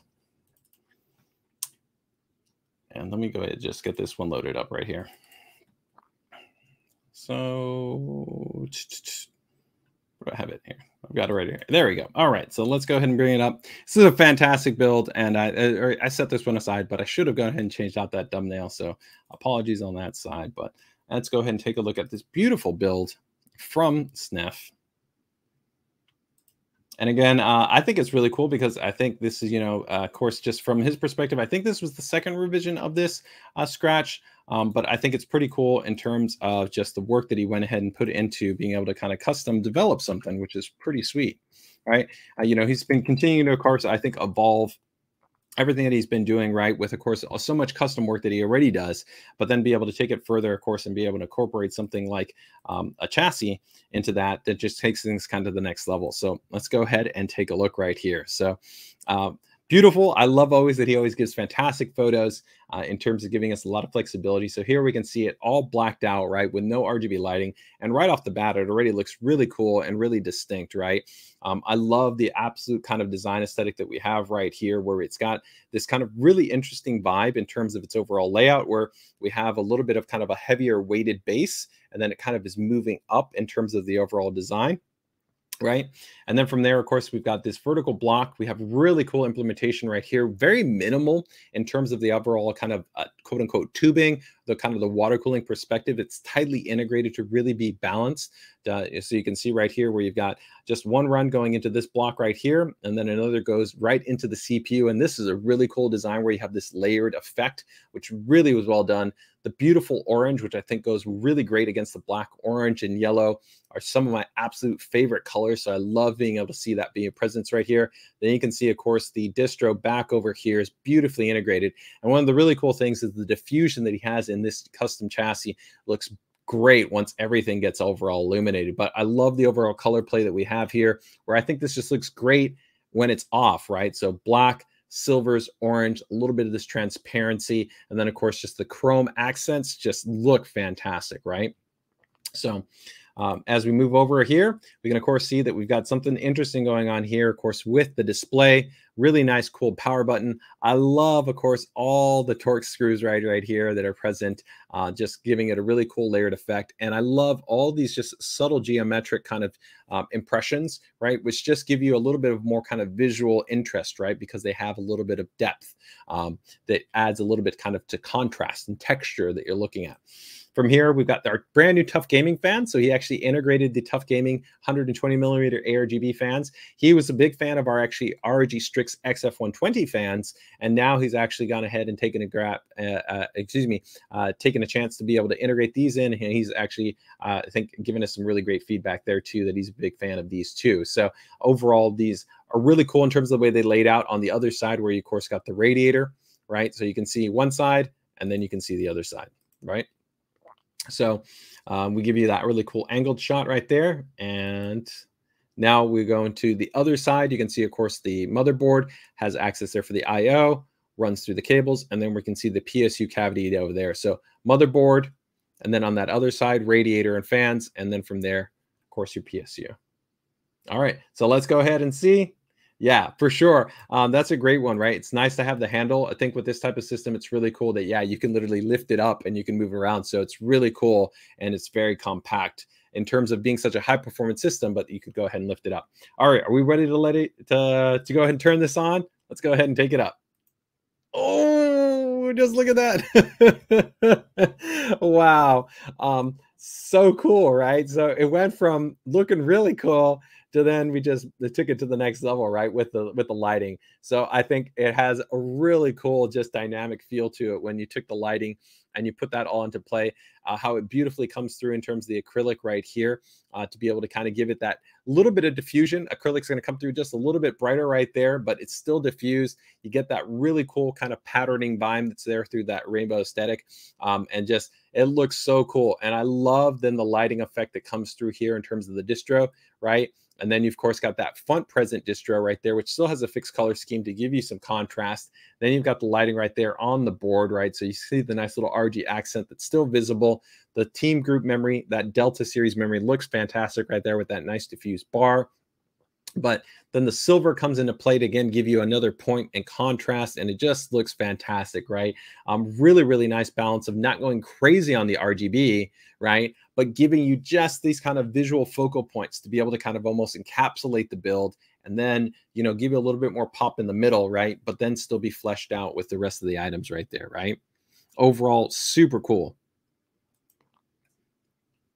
And here we can, of course, see uh, and you can, I love this, right? He's got the stat panel readout information right there with the monitor. He's got GPU tweak running right there, which is really, really cool. And then they're orange. Now, this is where I don't know. I'm torn, guys. What do you think? The orange or the rainbow? They both look really, really cool. And of course, here you got the orange. So that part of you might niggle at it, but I'm like, nah, it still looks fantastic. But I really love orange and yellows. So this, like, I'm really, really love this black and orange vibe. I think it looks fantastic, right? So um, let's see, just enough RGB. Trippy how he ran the LED lights uh, see through uh, the plexi of the chassis. Yeah, I definitely agree with that. Right. Um, I love those EK micro fittings too. I'm using them now. Yeah, these these little micro fittings are so cool in terms of being small, clean, and compact. Really kind of giving you a lot of nice flexibility, right, in terms of getting everything laid out right. So, what do you guys think? Do you think the uh, the the rainbow, or do you think the black and the orange? I'm gonna go with the black and the orange combo. I think the black and the orange combo looks really good. And then there at the top, you can just see how much it really kind of shines through, right? Again, through that distro. The silver, I think, perfectly complements, right? That chrome accenting with the black. And then you're carrying that lighting all the way through, even on the top handle. And then when we go to the back, all right, it's a party in the front and it's a party in the back because look at the back now you got all the RGB lighting with the TUF Gaming fans and it looks just so clean looks so cool it's just uh just looks really good. Yeah another just masterclass build and fantastic. I mean it's so cool right? Because he he designed the chassis he's got everything laid out right there and just uh, it's a beautiful job to be able to kind of put together this whole system and it looks great. I love the way that this turned out. It's really really great And there you can see those beautiful TUF Gaming uh, dual array LED based fans that we've got right there. So I'm going to go ahead and leave it on that one. Uh, let me go ahead and see if I can bring up his submission form here quickly.